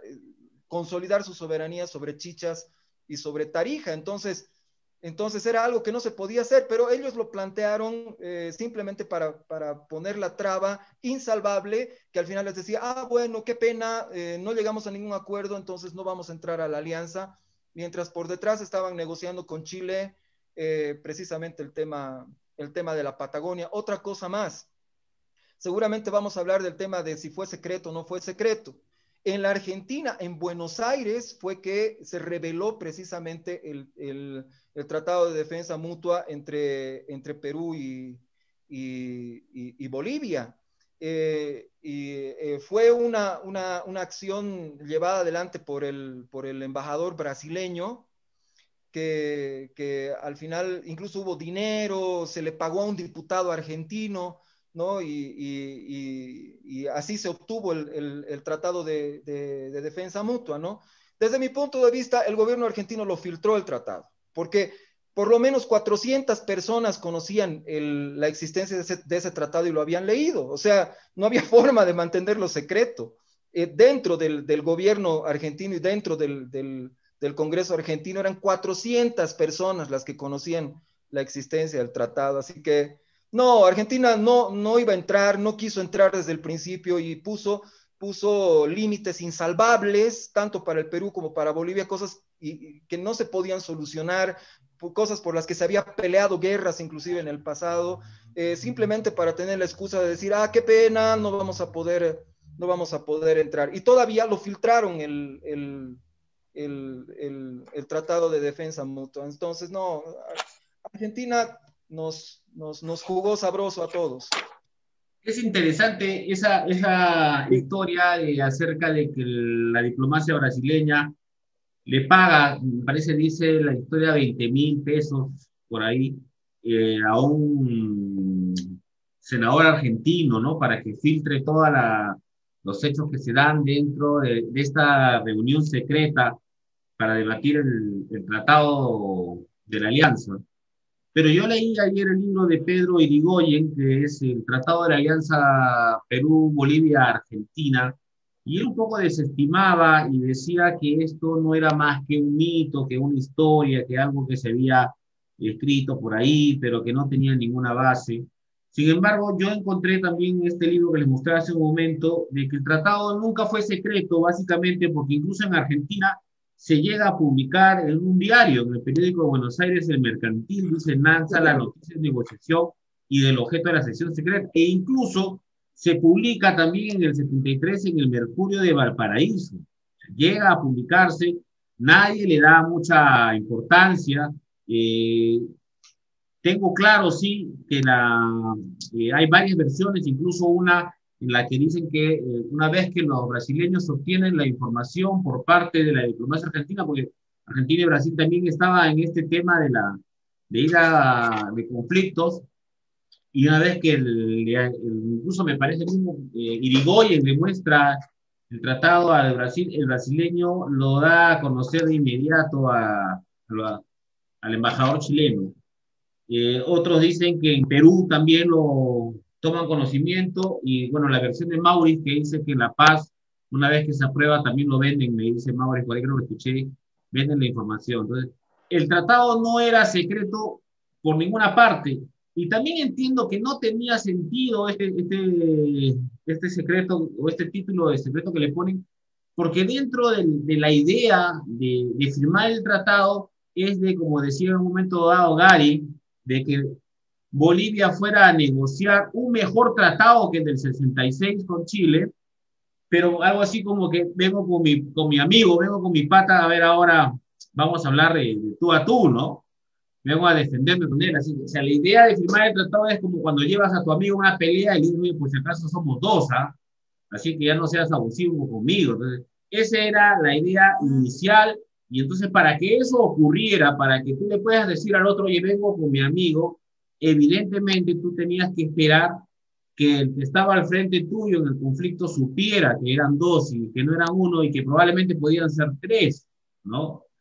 Pero bueno, en todas estas tratativas que se firma tratado secreto y que estamos hablando de que nos vamos a defender como grupo, como un, vamos a, a provocar que Chile desista de la guerra, vamos a lograr de que ya no haya guerra, de que se celebre un mejor tratado que el tratado que celebró con Melgarejo, Bolivia va y firma un nuevo tratado con Chile y creo que termina un poco moviendo todo el escenario. No sé cómo lo ven ustedes, vuelve, a firmarse en el 75 o 76, me parece un nuevo tratado y eh, cambia todo el escenario de, este, de esta idea de que ustedes tuvieran un mejor acuerdo, ¿no? Antes, de eso, Juan Carlos, permíteme acotar una cosa y que es lo que no se ha hablado. ¿no? Eh, el tratado era tan secreto que se cuchichaba en cada, en cada pasillo de los tres países, ¿no? de los cuatro países. Pero sin embargo, eh, la inteligencia de los tres países hizo conocer el tratado por una razón muy sencilla, como un fin disuasivo. Eso poco se comenta. Y eso lo relata muy bien Pratt cuando estuvo de negociador en, Buenos Aires, donde contacta efectivamente a Arturo Pratt como comisionado de la embajada de la Armada chilena, comisionado en la, en la embajada chilena en Argentina, invita al cónsul brasilero y le hace llegar una notificación a Irigoyen. Por eso que los opositores de Irigoyen lo mandan al exilio, y no es que Argentina no quisiera firmar el tratado, simplemente que si abría el tratado, eh, lo firmaba, se le abría un frente con el Brasil, que no podría sostener. Entonces, el escenario fue más, más complejo de lo, de lo que indica Jorge, ¿no? Posturas puede haber, interpretaciones puede haber, pero lo claro estaba en los documentos de Prat, de los cables que, que remite al, al Senado chileno, e indica, ¿no? De que efectivamente en caso de una posibilidad de, la alianza, el conflicto entre Brasil y Argentina sería inevitable. Lo dejo ahí como un antecedente que cada quien saque sus propias conclusiones. Incluso se habla de una alianza eh, Brasil-Chile, ¿no? Y en esos tiempos se hablaba del imperio de Brasil. Y se estaba hablando pues de una triple alianza Perú, Bolivia, Argentina, y que por otro lado Chile buscaba aliarse con Brasil, lo que finalmente nunca siquiera se tomó a dar, ¿no? La pregunta es, ¿los bloques hegemónicos han cambiado? No, siguen exactamente igual. O sea, en una hipótesis de conflicto, en el caso que involucre a Perú desde una frontera norte, sería Ecuador, Brasil, Chile. Y lo vimos en el conflicto del 95, sin ir muy lejos. Si se diera un escenario similar, sería lo mismo. Pongamos el caso de la guerra de Malvinas. ¿Cuáles fueron los bloques? Chile apoyando a Inglaterra, Uruguay apoyando a Inglaterra, Brasil cuidando su espacio geográfico, como un hegemón en, Sudamérica. Pero los bloques y los intereses naturales están. Ojo, hay que entender que entre los países no somos hermanos, somos países con intereses y amenazas comunes. Al momento que cada país vea vulnerados sus intereses, va a saltar. Y en base a eso se generan los bloques. Así de sencillo. O sea, no, no, pequemos en el romanticismo de, querer edulcorar las cosas. ¿no? Sí, no tienes razón, Gary, tienes toda la razón. Yo quiero que se investigue más dos nombres que voy a poner sobre la palestra. El ministro brasilero en Argentina, que era justamente el varón de Cotejipe, que me gustaría que, lo vean porque él ha sido justamente la persona que ha... ¿Perdón? Varón de Araguaya perdón, perdón, de Araguaya. Y el otro también, el señor Bles Gana, que también era, era, era brasileño, chileno. con raíces, algo así, pero con raíces brasileras. Entonces, había obviamente una presencia disimulada en realidad de, del Brasil también con esta influencia y tiene toda la razón. Ahora, respondiendo a lo que decía Juan Carlos con el Tratado de 1874, no es que desestima el, tema del, no sé cómo explicarlo, pero en realidad el Tratado de 1874 tiene un objetivo fundamental porque es un tratado de límites con Chile. Si bien se había declarado que todos los actos efectuados por Melgarejo estaban eh, dejados, eh, estaban anulados en realidad, se había determinado eso, pero este tratado ratifica los límites entre Chile y Bolivia del Tratado de 1866. No hay nada nuevo. Bolivia pudo haber en ese momento haber cuestionado y decir, no, no es así el tratado o, los límites de Bolivia con Chile, sino este es el, eh, la condición. Pero fundamentalmente el tratado de, de, Bolivia y Chile también tiene un tema económico. Uno, no, no permitir en realidad un aumento en cualquier eh, situación impositiva por más de 25 años o no más de 25 años, ¿no? El artículo, eh, el artículo cuarto es justamente lo que, lo, lo, que establece esa obligación para Bolivia. Pero lo que a mí me, llama mucho la atención es la, la ventaja que da justamente en el artículo quinto, pero es una gran ventaja. No establecía que quedaban libres y exentos del pago de todo derecho los, los productos naturales de Chile que se importasen por el litoral boliviano entre los entre los paralelos 23 y 24, en reciprocidad serían también liberados los productos naturales de Bolivia que se introdujesen al litoral chileno entre los paralelos 24 y 25. Nosotros no sacábamos nada por ahí, o sea, era mucho más oneroso para nosotros.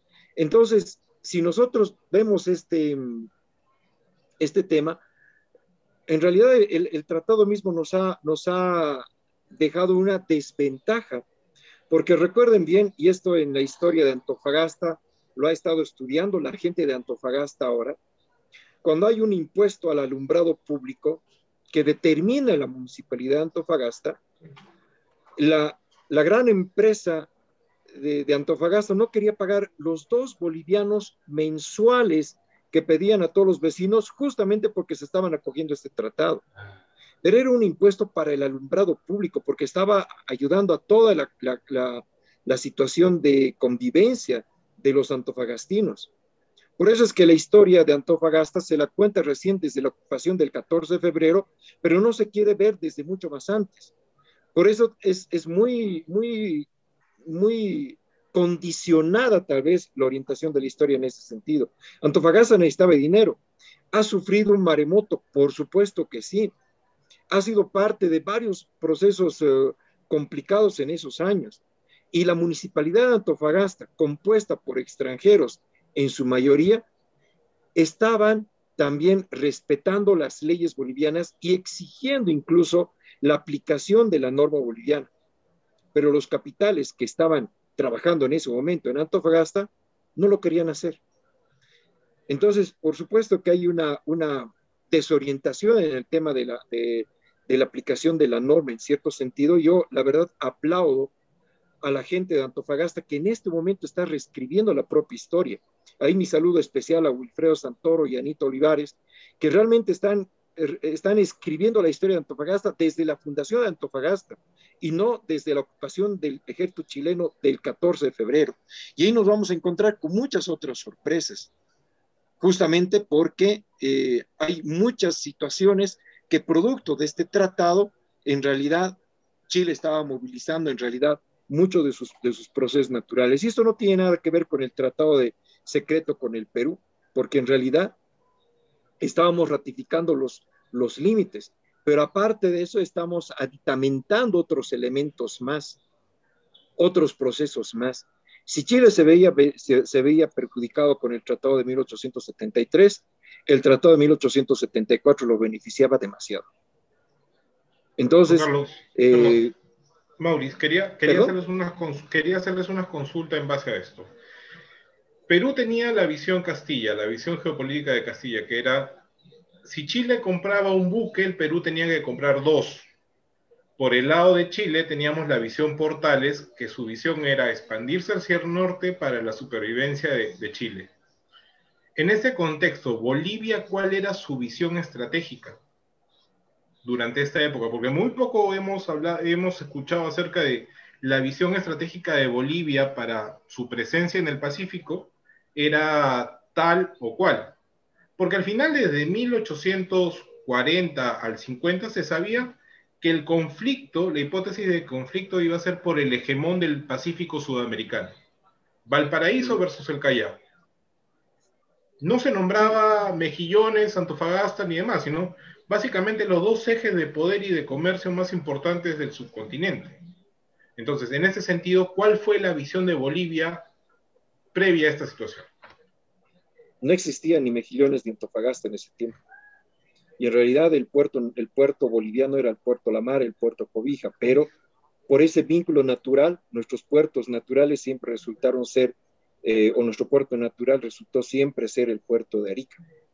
Entonces, por eso fue que se promovió el tema de la fundación de Antofagasta en el gobierno de Melgarejo, para que se promueva justamente, no solamente un tema poblacional, sino tenía que ver con el tema de explotación de las minas de Corocoro, con el tema de las, eh, eh, del tema del, salitre y el guano que ya empezaba a explotarse. Y algo que no, no se conoce mucho, en 1863 ya hubo una declaratoria de guerra de Bolivia-Chile, pero lamentablemente quedó sin efecto, producto justamente del gobierno Melgarejo y la guerra de España con el Perú. Entonces, eh, eh, esa declaratoria de guerra posiblemente ha quedado vigente para Chile y por eso que buscaba armarse. El país, en realidad, Bolivia, tenía un buen ejército, un ejército profesional, formados en cuarteles, formados en los eh, procesos internos que ha tenido el país, a diferencia tal vez del Perú y de Chile, que yo no me atrevo a comentarlo porque creo que tenían Em, hasta escuela militar. En Bolivia teníamos en realidad la formación de cadetes en los mismos cuarteles. Había la intención de comprar incluso barcos, pero nuestra economía no nos daba para poder armar o tener por lo menos una, una, una, una armada. Ya les había comentado que Boliviana había ido a negociar en realidad la compra de dos blindados en, Inglaterra, pero lamentablemente por un solo voto en el Congreso se desestimó esta compra. Entonces, eh, nuestra, nuestra visión estratégica cambiaba también de acuerdo al, gobierno que asumía en ese momento. Melgarejo, recuerden que en su gobierno tiene un, es, es, eh, adelantado en su época porque incluso hasta aplica normas del panamericanismo, estableciendo que, que, Bolivia no tiene límites con otro país y permite la libre circulación de sus ciudadanos y hasta el ejercicio de cargos públicos, en algún caso de extranjeros. Y eso ha beneficiado justamente a algunos eh, ciudadanos chilenos que han ejercido cargos públicos en el caso nuestro. Entonces, em, va a depender mucho de la, de, la, de la, característica de cada país, o de, perdón, de cada gobierno.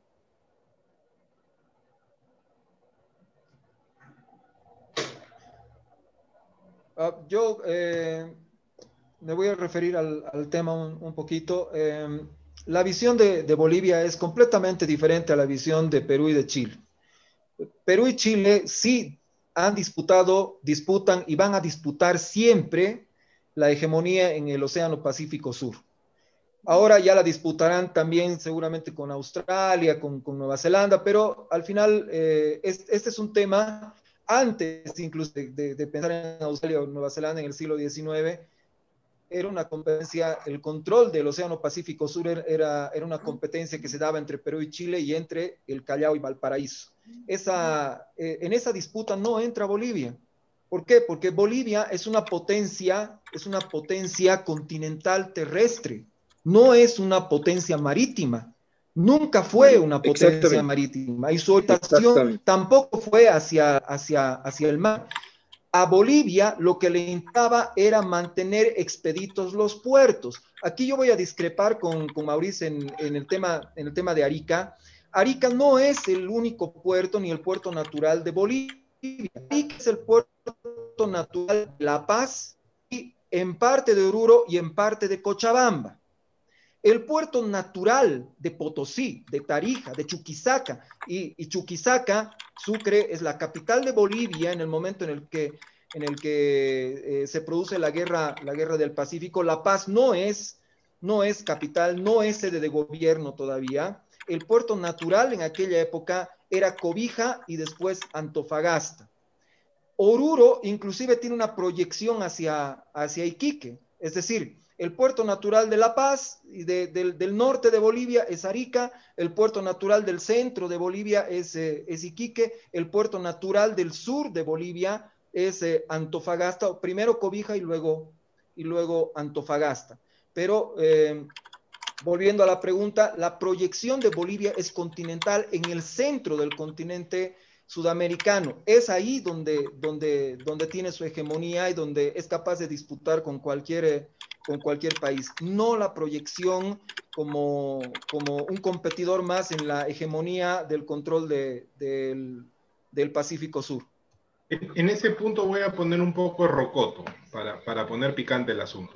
Entonces, bajo esta, bajo esta percepción hegemónica, se le daría cierto tipo de razón a Chile de decir que la ausencia de Bolivia por una presencia hegemónica hacia el Pacífico era básicamente una confirmación de que la proyección natural de Chile era hacia esos territorios. ¿Qué te parece? O sea, yo lo pongo de un punto de vista, te digo, o sea... Yo creo que, yo creo que no, yo creo que la visión de, de Chile eh, y es, era una visión que se estaba imponiendo precisamente unos añitos antes de que se produzca la guerra del Pacífico. La visión que debió haber tenido Chile siempre fue eh, expandirse hacia la Patagonia y llegar hacia el Océano Atlántico.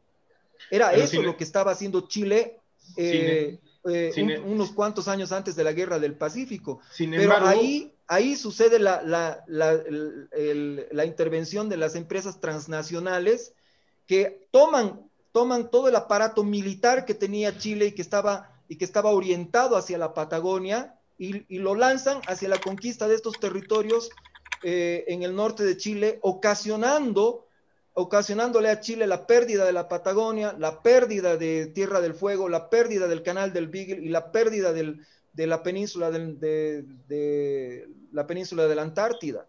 Es decir, eh, eso está, incluso, incluso Chile había, fundado, había, fundado fortines en la Patagonia que tiene que abandonar precisamente eh, eh, a principios de la década del, del 70 del siglo XIX.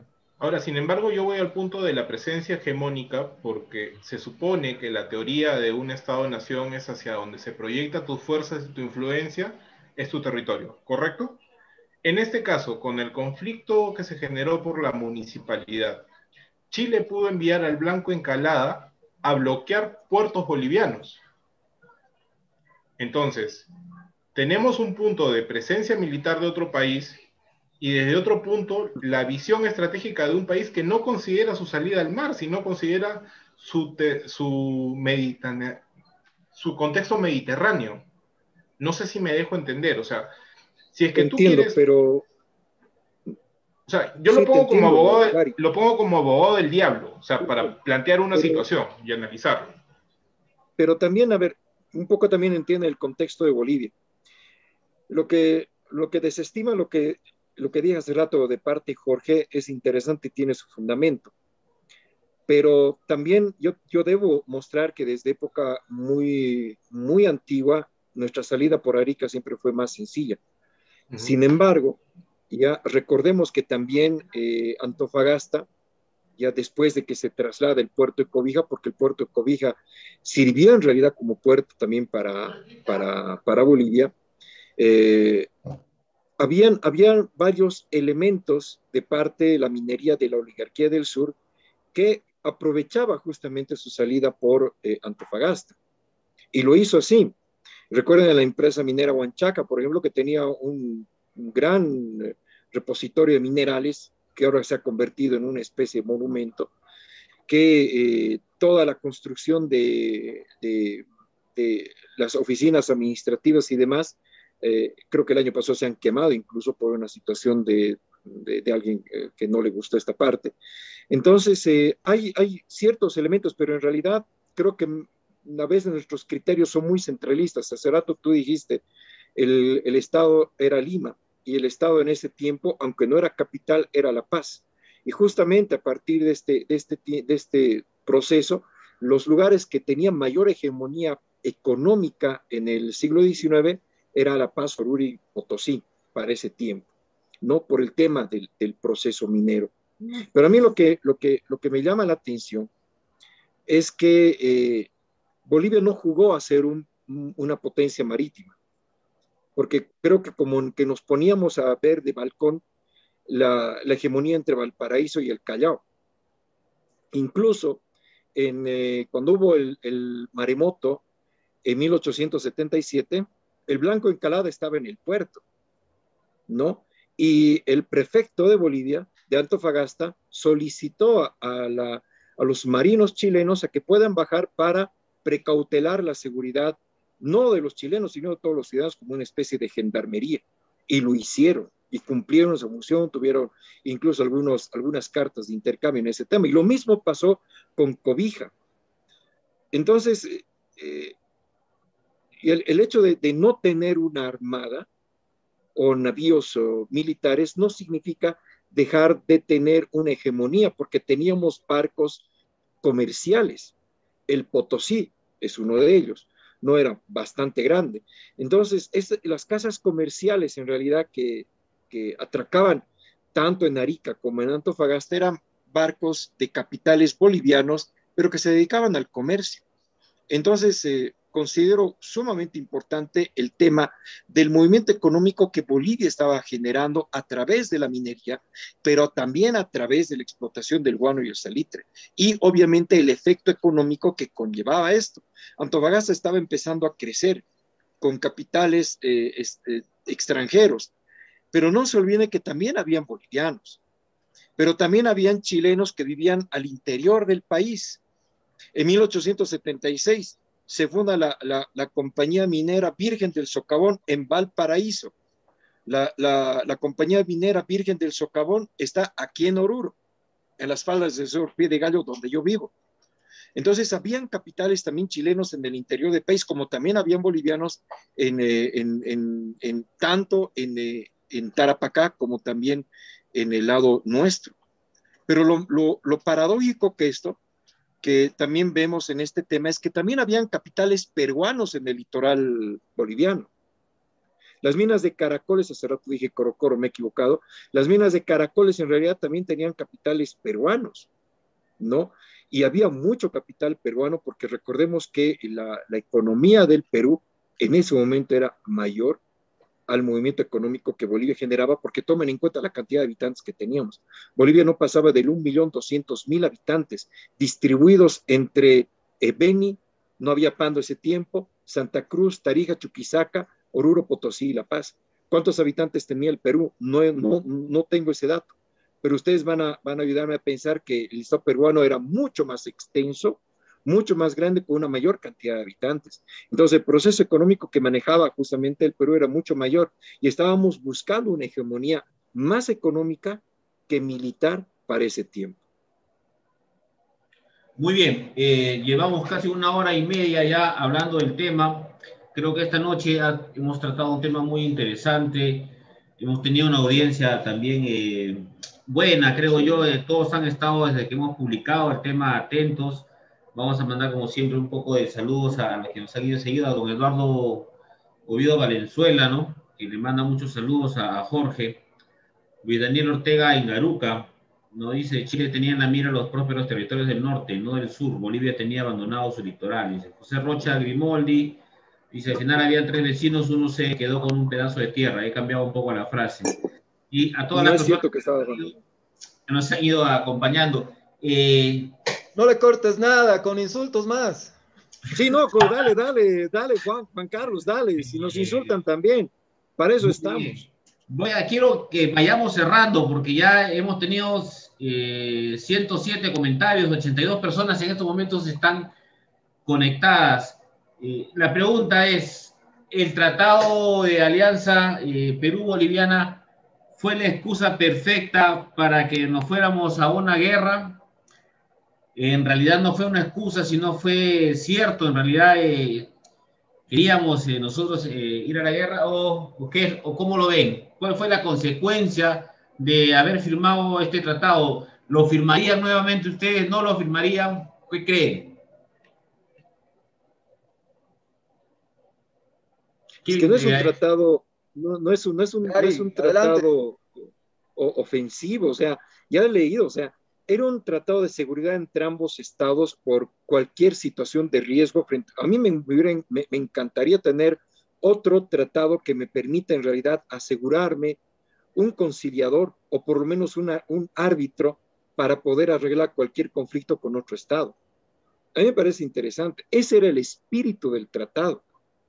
No era un tratado de obligar a, reunirnos en realidad para atacar otro país. Nunca en ninguna parte de este tratado se habla de que estamos eh, aliándonos como países para atacar un, un tercero. No existe ninguna parte de este tratado. Es un tratado defensivo, pero al mismo tiempo defensivo, lo he leído el artículo octavo, llamaba la conciliación de parte uno de los dos. Si Brasil hipotéticamente atacaba al Perú, Bolivia debía actuar para conciliar entre los dos países. Y si Bolivia no podía hacerlo, iba a pedir a una potencia extranjera, otro Estado, para que pueda acudir de árbitro. Ese era el espíritu del tratado. Pero obviamente la historiografía em, em, tal vez eh, chilena en un momento, estamos hablando de los historiadores de la época de la Guerra del Pacífico, en realidad ah, ah, toman, toman este tratado como un pretexto, como una causa para la guerra, porque de repente Chile se sentía amenazado, cuando en realidad no era exclusivamente el tratado firmado para uh, algún momento atacar a Chile. Si Chile tenía capitales eh, en, en, el departamento litoral, también, no estoy seguro, pero puedo suponer que también tenía capitales en el departamento de Tarapacá. Entonces, ¿cómo iba a sentirse amenazado de esa manera? Más bien, preparó el, terreno, sí, efectivamente. Y no me digan que en realidad el, Bolivia descuidó su litoral, no lo hizo, no lo hizo dio las condiciones necesarias y más bien facilitó para que extranjeros, chilenos, ingleses, alemanes, los que quieran, sean munícipes en el Consejo Municipal de Antofagasta. Lo que no hizo en ninguna parte del país permitió la libertad de culto, justamente para gran presencia extranjera. Y claro, no tenía, no, no era necesario una fuerza militar porque la amenaza estaba dentro del país no en las costas. Pero si alguien me dice que Bolivia descuidó su litoral, era porque precisamente algún otro estado estaba viendo los intereses de, litoral como algo que realmente podían proyectar. Muy bien, Jorge. ¿Crees que Chile guardó como una carta secreta bajo la manga este tratado para utilizarlo en el momento más oportuno? ¿Cómo lo ves? No, es, eh, es un tema político y sobre todo de, propaganda y para concientización de la, población. todos los estados tienen sus, sus, historias eh, ¿no? ajustadas a, sus intereses. La mayor parte de los países tienen, tienen esos ajustes a favor. Eh, algunos países como Bolivia los tenemos los ajustes en contra. pero lo, lo que hace Chile es utilizarlo como propaganda. Es, decir, lo que quiso hacer Chile, lo que quiso hacer el gobierno chileno en aquella época, eh, recordándole a la, población lo que había sido el, tratado de, Triple Alianza y la guerra de la Triple Alianza de Brasil, Argentina, Uruguay en contra, de Paraguay. Estando fresco ese recuerdo, todo el mundo recordaba esa gastre que, que sucedió después de la guerra eso fue lo que le dijeron a, la población chilena. Lo que quieren hacer Perú, Bolivia y Argentina es, eh, es, destruir a Chile igual que Brasil, Argentina y Uruguay hicieron con el Paraguay. Es, es, decir, utilizaron algo que estaba fresco en la memoria colectiva del continente entero para convencer a su población de que estaban en una situación de amenaza, pero eh, las, las, cosas son obvias, o sea, ahí está la compra de los, de, los, eh, de los acorazados, ahí está la compra de armamento que se hace también en 1872, eh, el tratado era, era público, ya lo, ya lo, hemos, ya lo hemos conversado, ya les comenté que 400 personas conocían en, el, en, en, Buenos Aires, en el gobierno argentino, y en el Congreso argentino conocían de la existencia del tratado. Es decir, o sea, era, era una cosa sumamente conocida y obviamente los, los, invito otra vez a los amigos chilenos y a las amigas chilenas que se den cinco minutos de su tiempo para leer el tratado y tengan después el, la sangre como si hicieron un tratado para irnos a los pobres chilenos.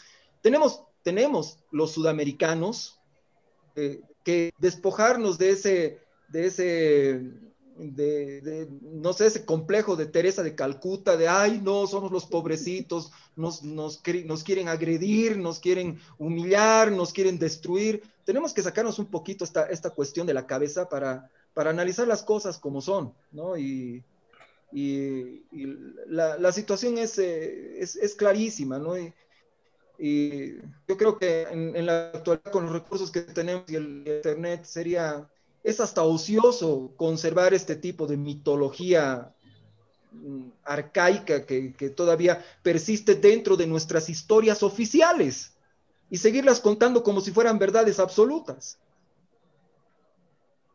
Muy bien, Jorge. Un, comentario, Juan Carlos, por favor. Ya. Eh, he leído algún comentario que dice que el tratado fue ofensivo para Chile. Por favor, quisiera poner en el contexto el problema del Acre, producto del Tratado de 1867 de Bolivia con el Brasil, en el cual territorio que disputaba también Perú en el norte de Bolivia, se arregló con este tratado. Por eso el tratado de la Alianza Secreta de, de 1873 estipula precisamente estos artículos que hablan del arreglo limítrofe. Y es más, Perú reclamó justamente por, por, este tratado porque estaba afectando a su, a su pretensión territorial. El famoso mapa mentiroso que alguna vez lo hemos discutido con Jorge eh, de las pérdidas territoriales también lo tiene el Perú. Y este, y este de pérdidas territoriales también asumía que esta parte de lo que actualmente es Pando y el Acre era territorio peruano. Entonces había una clara amenaza, por supuesto, de parte del Brasil. Y el Brasil también ahí jugó un papel sumamente, sumamente hábil. Argentina supo negociar el tratado. No fue como el caso nuestro. ¿Qué me das a cambio? Lo haremos porque sí, tenemos estas situaciones de amenaza, pero Argentina jugó un papel realmente interesante en la negociación, caso de Bolivia, poniendo en el tapete el tema de Tarija. Pero también había la amenaza del Brasil. Y la amenaza del Brasil no era contra Bolivia, era contra el Perú, porque entre Bolivia y Brasil habíamos firmado un tratado de límites de 1867. Habíamos arreglado un problema que no se podía solucionar en mucho tiempo, desde la invasión brasilera al, a Chiquitos en 1825. Pero Perú sentía esa amenaza porque si hubiera, si hubiera consolidado en realidad este tema ya en esos primeros años, hubiera tenido que, que hubiera tenido, hubiera sido obligado a firmar otro tratado con el, con el Brasil. Por eso no fue un tratado contra Chile solamente. Entiendan el contexto, o sea, no es Chile el único pobrecito, e, efectivamente, la víctima de este proceso, porque también habían temas de contexto que hay que analizarlos que hay que estudiarlos, porque después del Tratado de Petrópolis de 1903, Perú continuó con el reclamo tanto a Brasil como a Bolivia por estos espacios. De ahí viene la, la campaña del Manurip, la guerra entre Perú y Bolivia, que muy poco se la cuenta. Entonces, por eso también es eh, necesario entender, por favor, no fue un tratado contra Chile, analicemos, recuerden bien el contexto y entendamos bien justamente estos elementos para poder tener criterios muchos más, mucho más firmes. Hay un punto que, quizás eh, mucho del público que nos ve no, ha dimensionado y es que eh, con el tema del triángulo amazónico, el Perú perdió tres cuartos de su territorio y casi lo que abarcaría seis veces Tarapacá, Iquique y Arica. ¿no? Sin embargo, vamos a poner en hechos puntuales. Eh, Chile tenía una máquina de guerra bien aceitada con las guerras de pacificación, ¿correcto? De la Araucanía, porque se estandarizó el proceso de armamento, se estandarizó el proceso de, de dinámica militar, la instrucción y demás. Compra los acorazados. Perú y Bolivia, mientras que discuten las buenas intenciones de frenar un conflicto bélico por medio de una acción disuasiva diplomática, que era el tratado o la alianza defensiva, Chile siguió trabajando en base a fortalecer su, su Fuerza Armada y su proyección de sus capitales, porque no solamente eran capitales privados, sino eran paraestatales, de privados con el Estado. Entonces, si la alianza hubiera sido en pro de agredir a Chile, bueno, ¿qué hacía Perú desarmado con los buques desguazados? Eh, Bolivia sin una marina, con ejércitos mal entrenados, con un ejército profesional con bajo número de, tropas. Entonces, agresivo creo que no fue. O sea, tú no te vas a pelear con, con una persona en silla de ruedas. ¿Cierto? Y después vas a decir que la persona con ruedas vino a agredirte. es, así de simple. Ahora, en el contexto actual, no podemos volver a caer de buenistas, pues, ¿no? Ya estuvo bueno con la elección del 79. Para resguardar la paz, tienes que poner músculos. Y los músculos son tus Fuerzas Armadas. Y no solamente por un conflicto, una hipótesis del conflicto dentro del continente. Hablemos de las amenazas exteriores.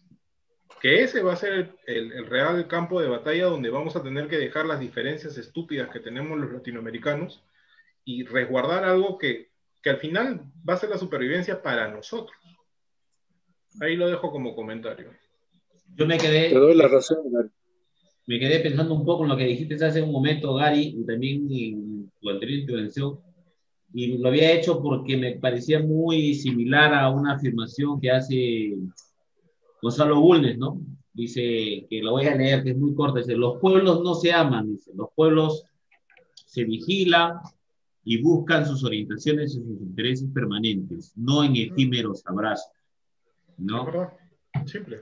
¿Qué, tan, ¿Qué, tan, cierta y, qué tan verdadera esa frase, ¿no? A pesar de que hemos tratado siempre de buscar eh, esta hermandad, al fin y al cabo, eh, Bulnes nos dice algo tan cierto como, como aquello, ¿no? Debemos estar siempre... Juan Carlos, algo que acotar a eso, o sea, no hay que olvidar que Chile venía con sangre en el ojo de la derrota contra la Confederación Perú-Boliviana y que es algo que no lograron superar. O sea, es casi como el trauma que nos dejó la guerra a nosotros. Chile nunca perdonó esa derrota porque su ejército regresó diezmado y en harapos. Y le perdonamos. Y perdonamos. Y le perdonamos para no eliminarlo. Y le perdonamos. Entonces, justamente la clase política más eh, ultraconservadora y ultranacionalista que al final usó al pueblo para defender sus intereses económicos, generó esta conciencia que al final se tradujo en la visión Portales, porque Portales fue el principal publicista de este odio hacia el Perú. Y lo hizo desde el, desde el Congreso, desde el Senado chileno. O sea, hay, hay un juego de tronos interno, ¿no? Para ver cómo, cómo muevo mis tropas en, en, pro de mis intereses, ¿no? Y ahí se generan las conciencias nacionales, o sea, no hablo del nacionalismo bueno que es querer a tu patria, sino odiar al otro. Esa visión, visión nacionalista que no, no funciona. Muy bien, ya estamos cerca de cumplir casi dos horas de transmisión. Hemos tenido, creo, eh, una muy buena audiencia esta noche. Y el día 14 de febrero, por si acaso, eh, para quienes están presentes, estamos ya eh, coordinando para una nueva transmisión.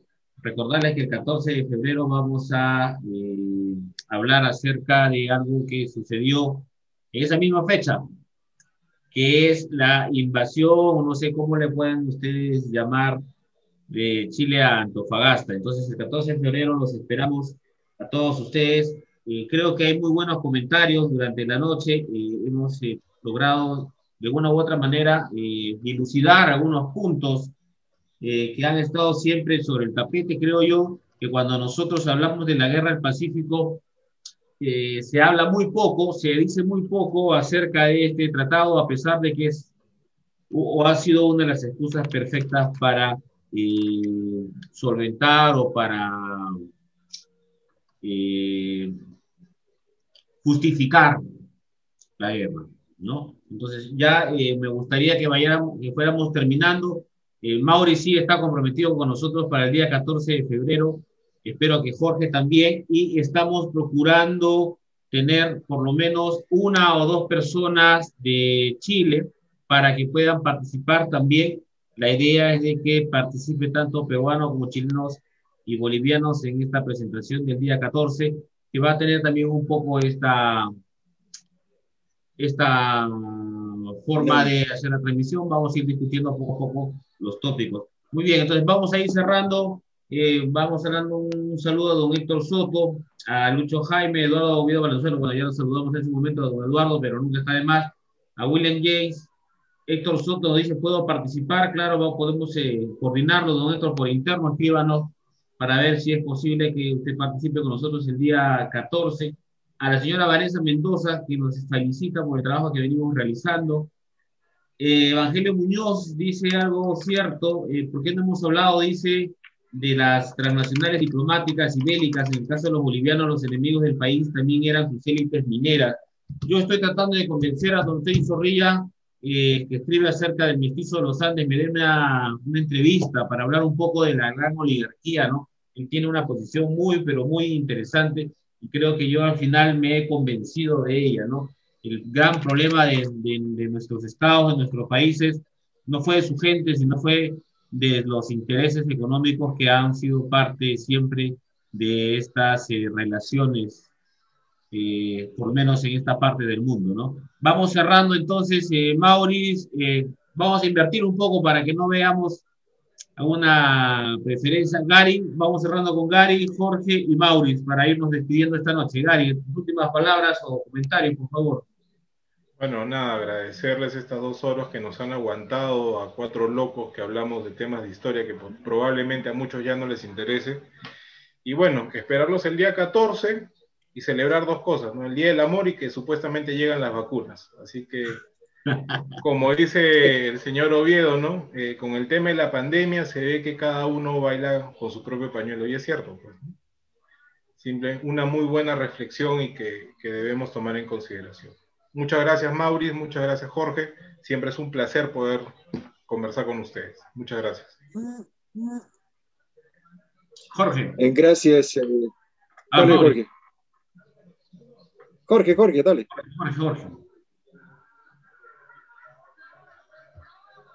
Ah, creo que ya lo he dicho la, anterior vez, o una, una, vez anterior que hemos, que hemos hablado. A mí no me gusta asumir la, posición de víctima. Yo creo que mi país eh, ha ganado guerras, ha perdido guerras y, tiene muchas cosas de qué estar, de qué estar orgulloso. El tema de la guerra del Pacífico es eh, tremendamente complicado porque está tan, tan sumergido en la mitología tanto en Perú como en Bolivia, como en Chile, que es prácticamente imposible hablar razonablemente con cualquier persona acerca de cualquier tema. ¿Por qué? Porque todos, todos son agredidos, todos son eh, eh, sometidos, a todos los han humillado. El, héroe, el héroe principal de, Bolivia es Avaroa, que muere acribillado. El héroe principal del Perú es, es Grau, que muere acribillado. El héroe principal de, Chile Sprat, que muere acribillado. O sea, es, es, muy difícil tratar de superar ese complejo tremendo que tenemos de, querer hacernos a las, a las víctimas. Y eh, me parece muy saludable el que, el que conversemos estos temas. Em, me gusta hablar con, con ustedes, eh, amigos, amigos peruanos. Em, mm, me gusta que hablemos para un público de, de, las tres naciones, de repente para más para más para tener acerca de, de, estas cosas que sucedieron en, en el marco lo, lo, de, lo, posible, porque todos tenemos nuestro corazoncito, ¿no? Y todos defendemos la causa de nuestra patria. De cualquier manera, eh, agradezco por la, por la invitación y, y un, un, abrazo para, para ustedes en el Perú, un abrazo para todas y todos los que nos están siguiendo a través de las redes sociales. Muy bien, Jorge. Mauri, vamos contigo entonces desde Oruro. Muchas gracias, eh, realmente Juan Carlos, a la Sociedad de Estudios Históricos de Tacna, a Gary, realmente un privilegio compartir y siempre es un placer compartir con Jorge, con quien tenemos ideas que coinciden en un momento. También hemos debatido con Jorge muchos, muchos temas, nos falta todavía eh, ponernos de acuerdo en algunas situaciones. Y creo que esa es la, la, la esencia de entender lo que es nuestra historia, a partir de una relectura de documentos, documentos que sean de la época, entender el contexto, entender todos los elementos y recién empezar a hacer una interpretación adecuada y objetiva, porque debemos recordar muy bien que los historiadores de la Guerra del Pacífico de ese tiempo, contemporáneos a la Guerra del Pacífico, han escrito con mucho patrioterismo y no tanto con, con un sentido objetivo. Y eso nos ha hecho daño, porque la verdad nos ha, nos ha puesto, eh, nos ha culpado entre los tres países. Chile señala al Perú, Perú señala a Bolivia, Bolivia señala a Chile, o sea, eh, vamos a encontrar siempre ese tipo de situaciones.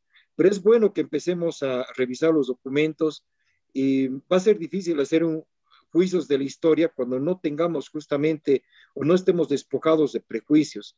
Es muy difícil, porque habiendo nacido en, en Bolivia, voy a defender mucho lo que son los intereses de mi país y lo voy a hacer como lo hemos estado haciendo en toda nuestra historia gloriosa que tenemos, porque no es una historia de derrotas. Ya Jorge tiene un, buen libro que se llama justamente, que tiene ese título de las glorias de Bolivia, y creo que vale la pena releer nuestras grandes victorias que hemos tenido en todos los conflictos bélicos, que no ha sido uno, dos o tres. ¿Cuántos son, Jorge? 14. Entonces, con todos esos conflictos... Son los que más guerras han peleado en Sudamérica, Mauricio. Con todos los países, eh, Juan Carlos, con todos los países, incluyendo con ustedes. Entonces, eh, creo que es necesario entender cada uno de esos elementos y no porque a partir de las guerras nos vamos a sentir mejores, no. Ojalá no hubieran habido guerras. Creo que nuestra realidad como país hubiera sido diferente. Creo que las guerras nos siguen separando, pero también tenemos que empezar a construir a partir de todo ese, ese tipo de experiencias nuevos procesos de proyección a partir de acuerdos y procesos que tengamos que tener en común. Algún día, Juan Carlos Gary, vamos a estar en Tacna compartiendo una taza de café en el campo de batalla, pero lo vamos a hacer no para, para buscar víctimas, sino lo vamos a hacer para honrar a nuestros héroes. Y, es, y en ese día también estarán nuestros hermanos chilenos, porque también tenemos que hablar de una historia común, reconstruir una historia común. Y de Bolivia vamos a ir varios estará Jorge, estarán varios de nuestros amigos, donde podremos hacer lo mismo, porque la verdad, Tacna en algún momento ha sido la casa para el ejército boliviano, por mucho tiempo, por muchos meses, lejos de nuestros hogares. Y creo que vamos a, vamos a poder reivindicar aquello. Gracias, Juan Carlos, gracias, Gary, y siempre un placer, eh, Jorge, compartir contigo. Muy bien, eh, Mauri, muy bien, Jorge, muy bien, Gary.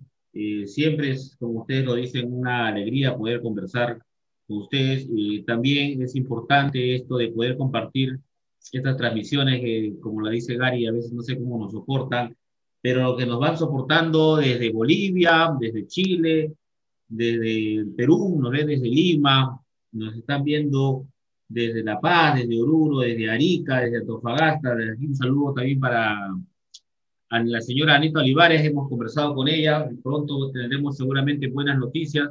También ya estoy coordinando una presentación con la señora Anita Olivares en marzo. Vamos a hablar un poco de la, de la, presencia de las mujeres en la guerra. Creo que es un tema que, que, tenemos pendiente.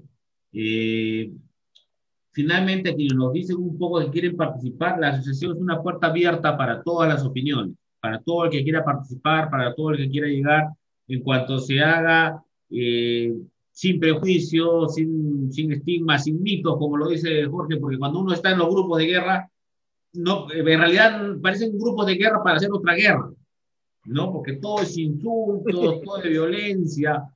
Aquí no, aquí la asociación está abierta para todo aquel que quiera hablar, pero que quiera hablar con, las, eh, con el respeto y con la tolerancia y sobre todo con las bases necesarias para hacerlo. Entonces, eh, nos vamos despidiendo esta noche. Eh, un saludo a, Franco Noel de Cochabamba. Anita Olivares nos dice que cuando esté por acá, Mauri se va a fumar ese café en Tacna. Ya, eh, Luis Gutiérrez dice el nacionalismo es excesivo, totalmente negativo para los los tres países en efecto. Saludos de Yasta, Bolivia, dice Franco Noel Seymour Frug, ahí siempre sorprende, nos está saludando Seymour Frug, muchas gracias, lo dice. Entonces, muy buenas noches a todos. Nos vemos el día 14 de febrero a las 8 de la noche para hablar un poco de Antofagasta y hablar pues de este eh, tan pero eh, difícil estadio en la historia de Perú, de Bolivia y de Chile.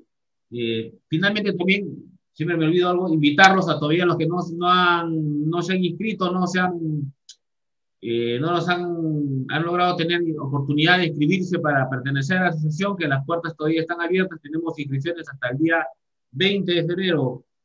Don Eduardo, las trincheras están abiertas, sí, efectivamente, las trincheras están abiertas, pero ahora están abiertas para conversar, para dialogar y para encontrar esos puntos comunes que tenemos entre los tres países. Muy buenas noches a todos ustedes. Esto ha sido eh, la historia secreta del Tratado de la Alianza entre Perú y Bolivia. Nos vemos. Hasta, el 14. Cuídense. Un fuerte abrazo. Un fuerte abrazo. Chao, chao.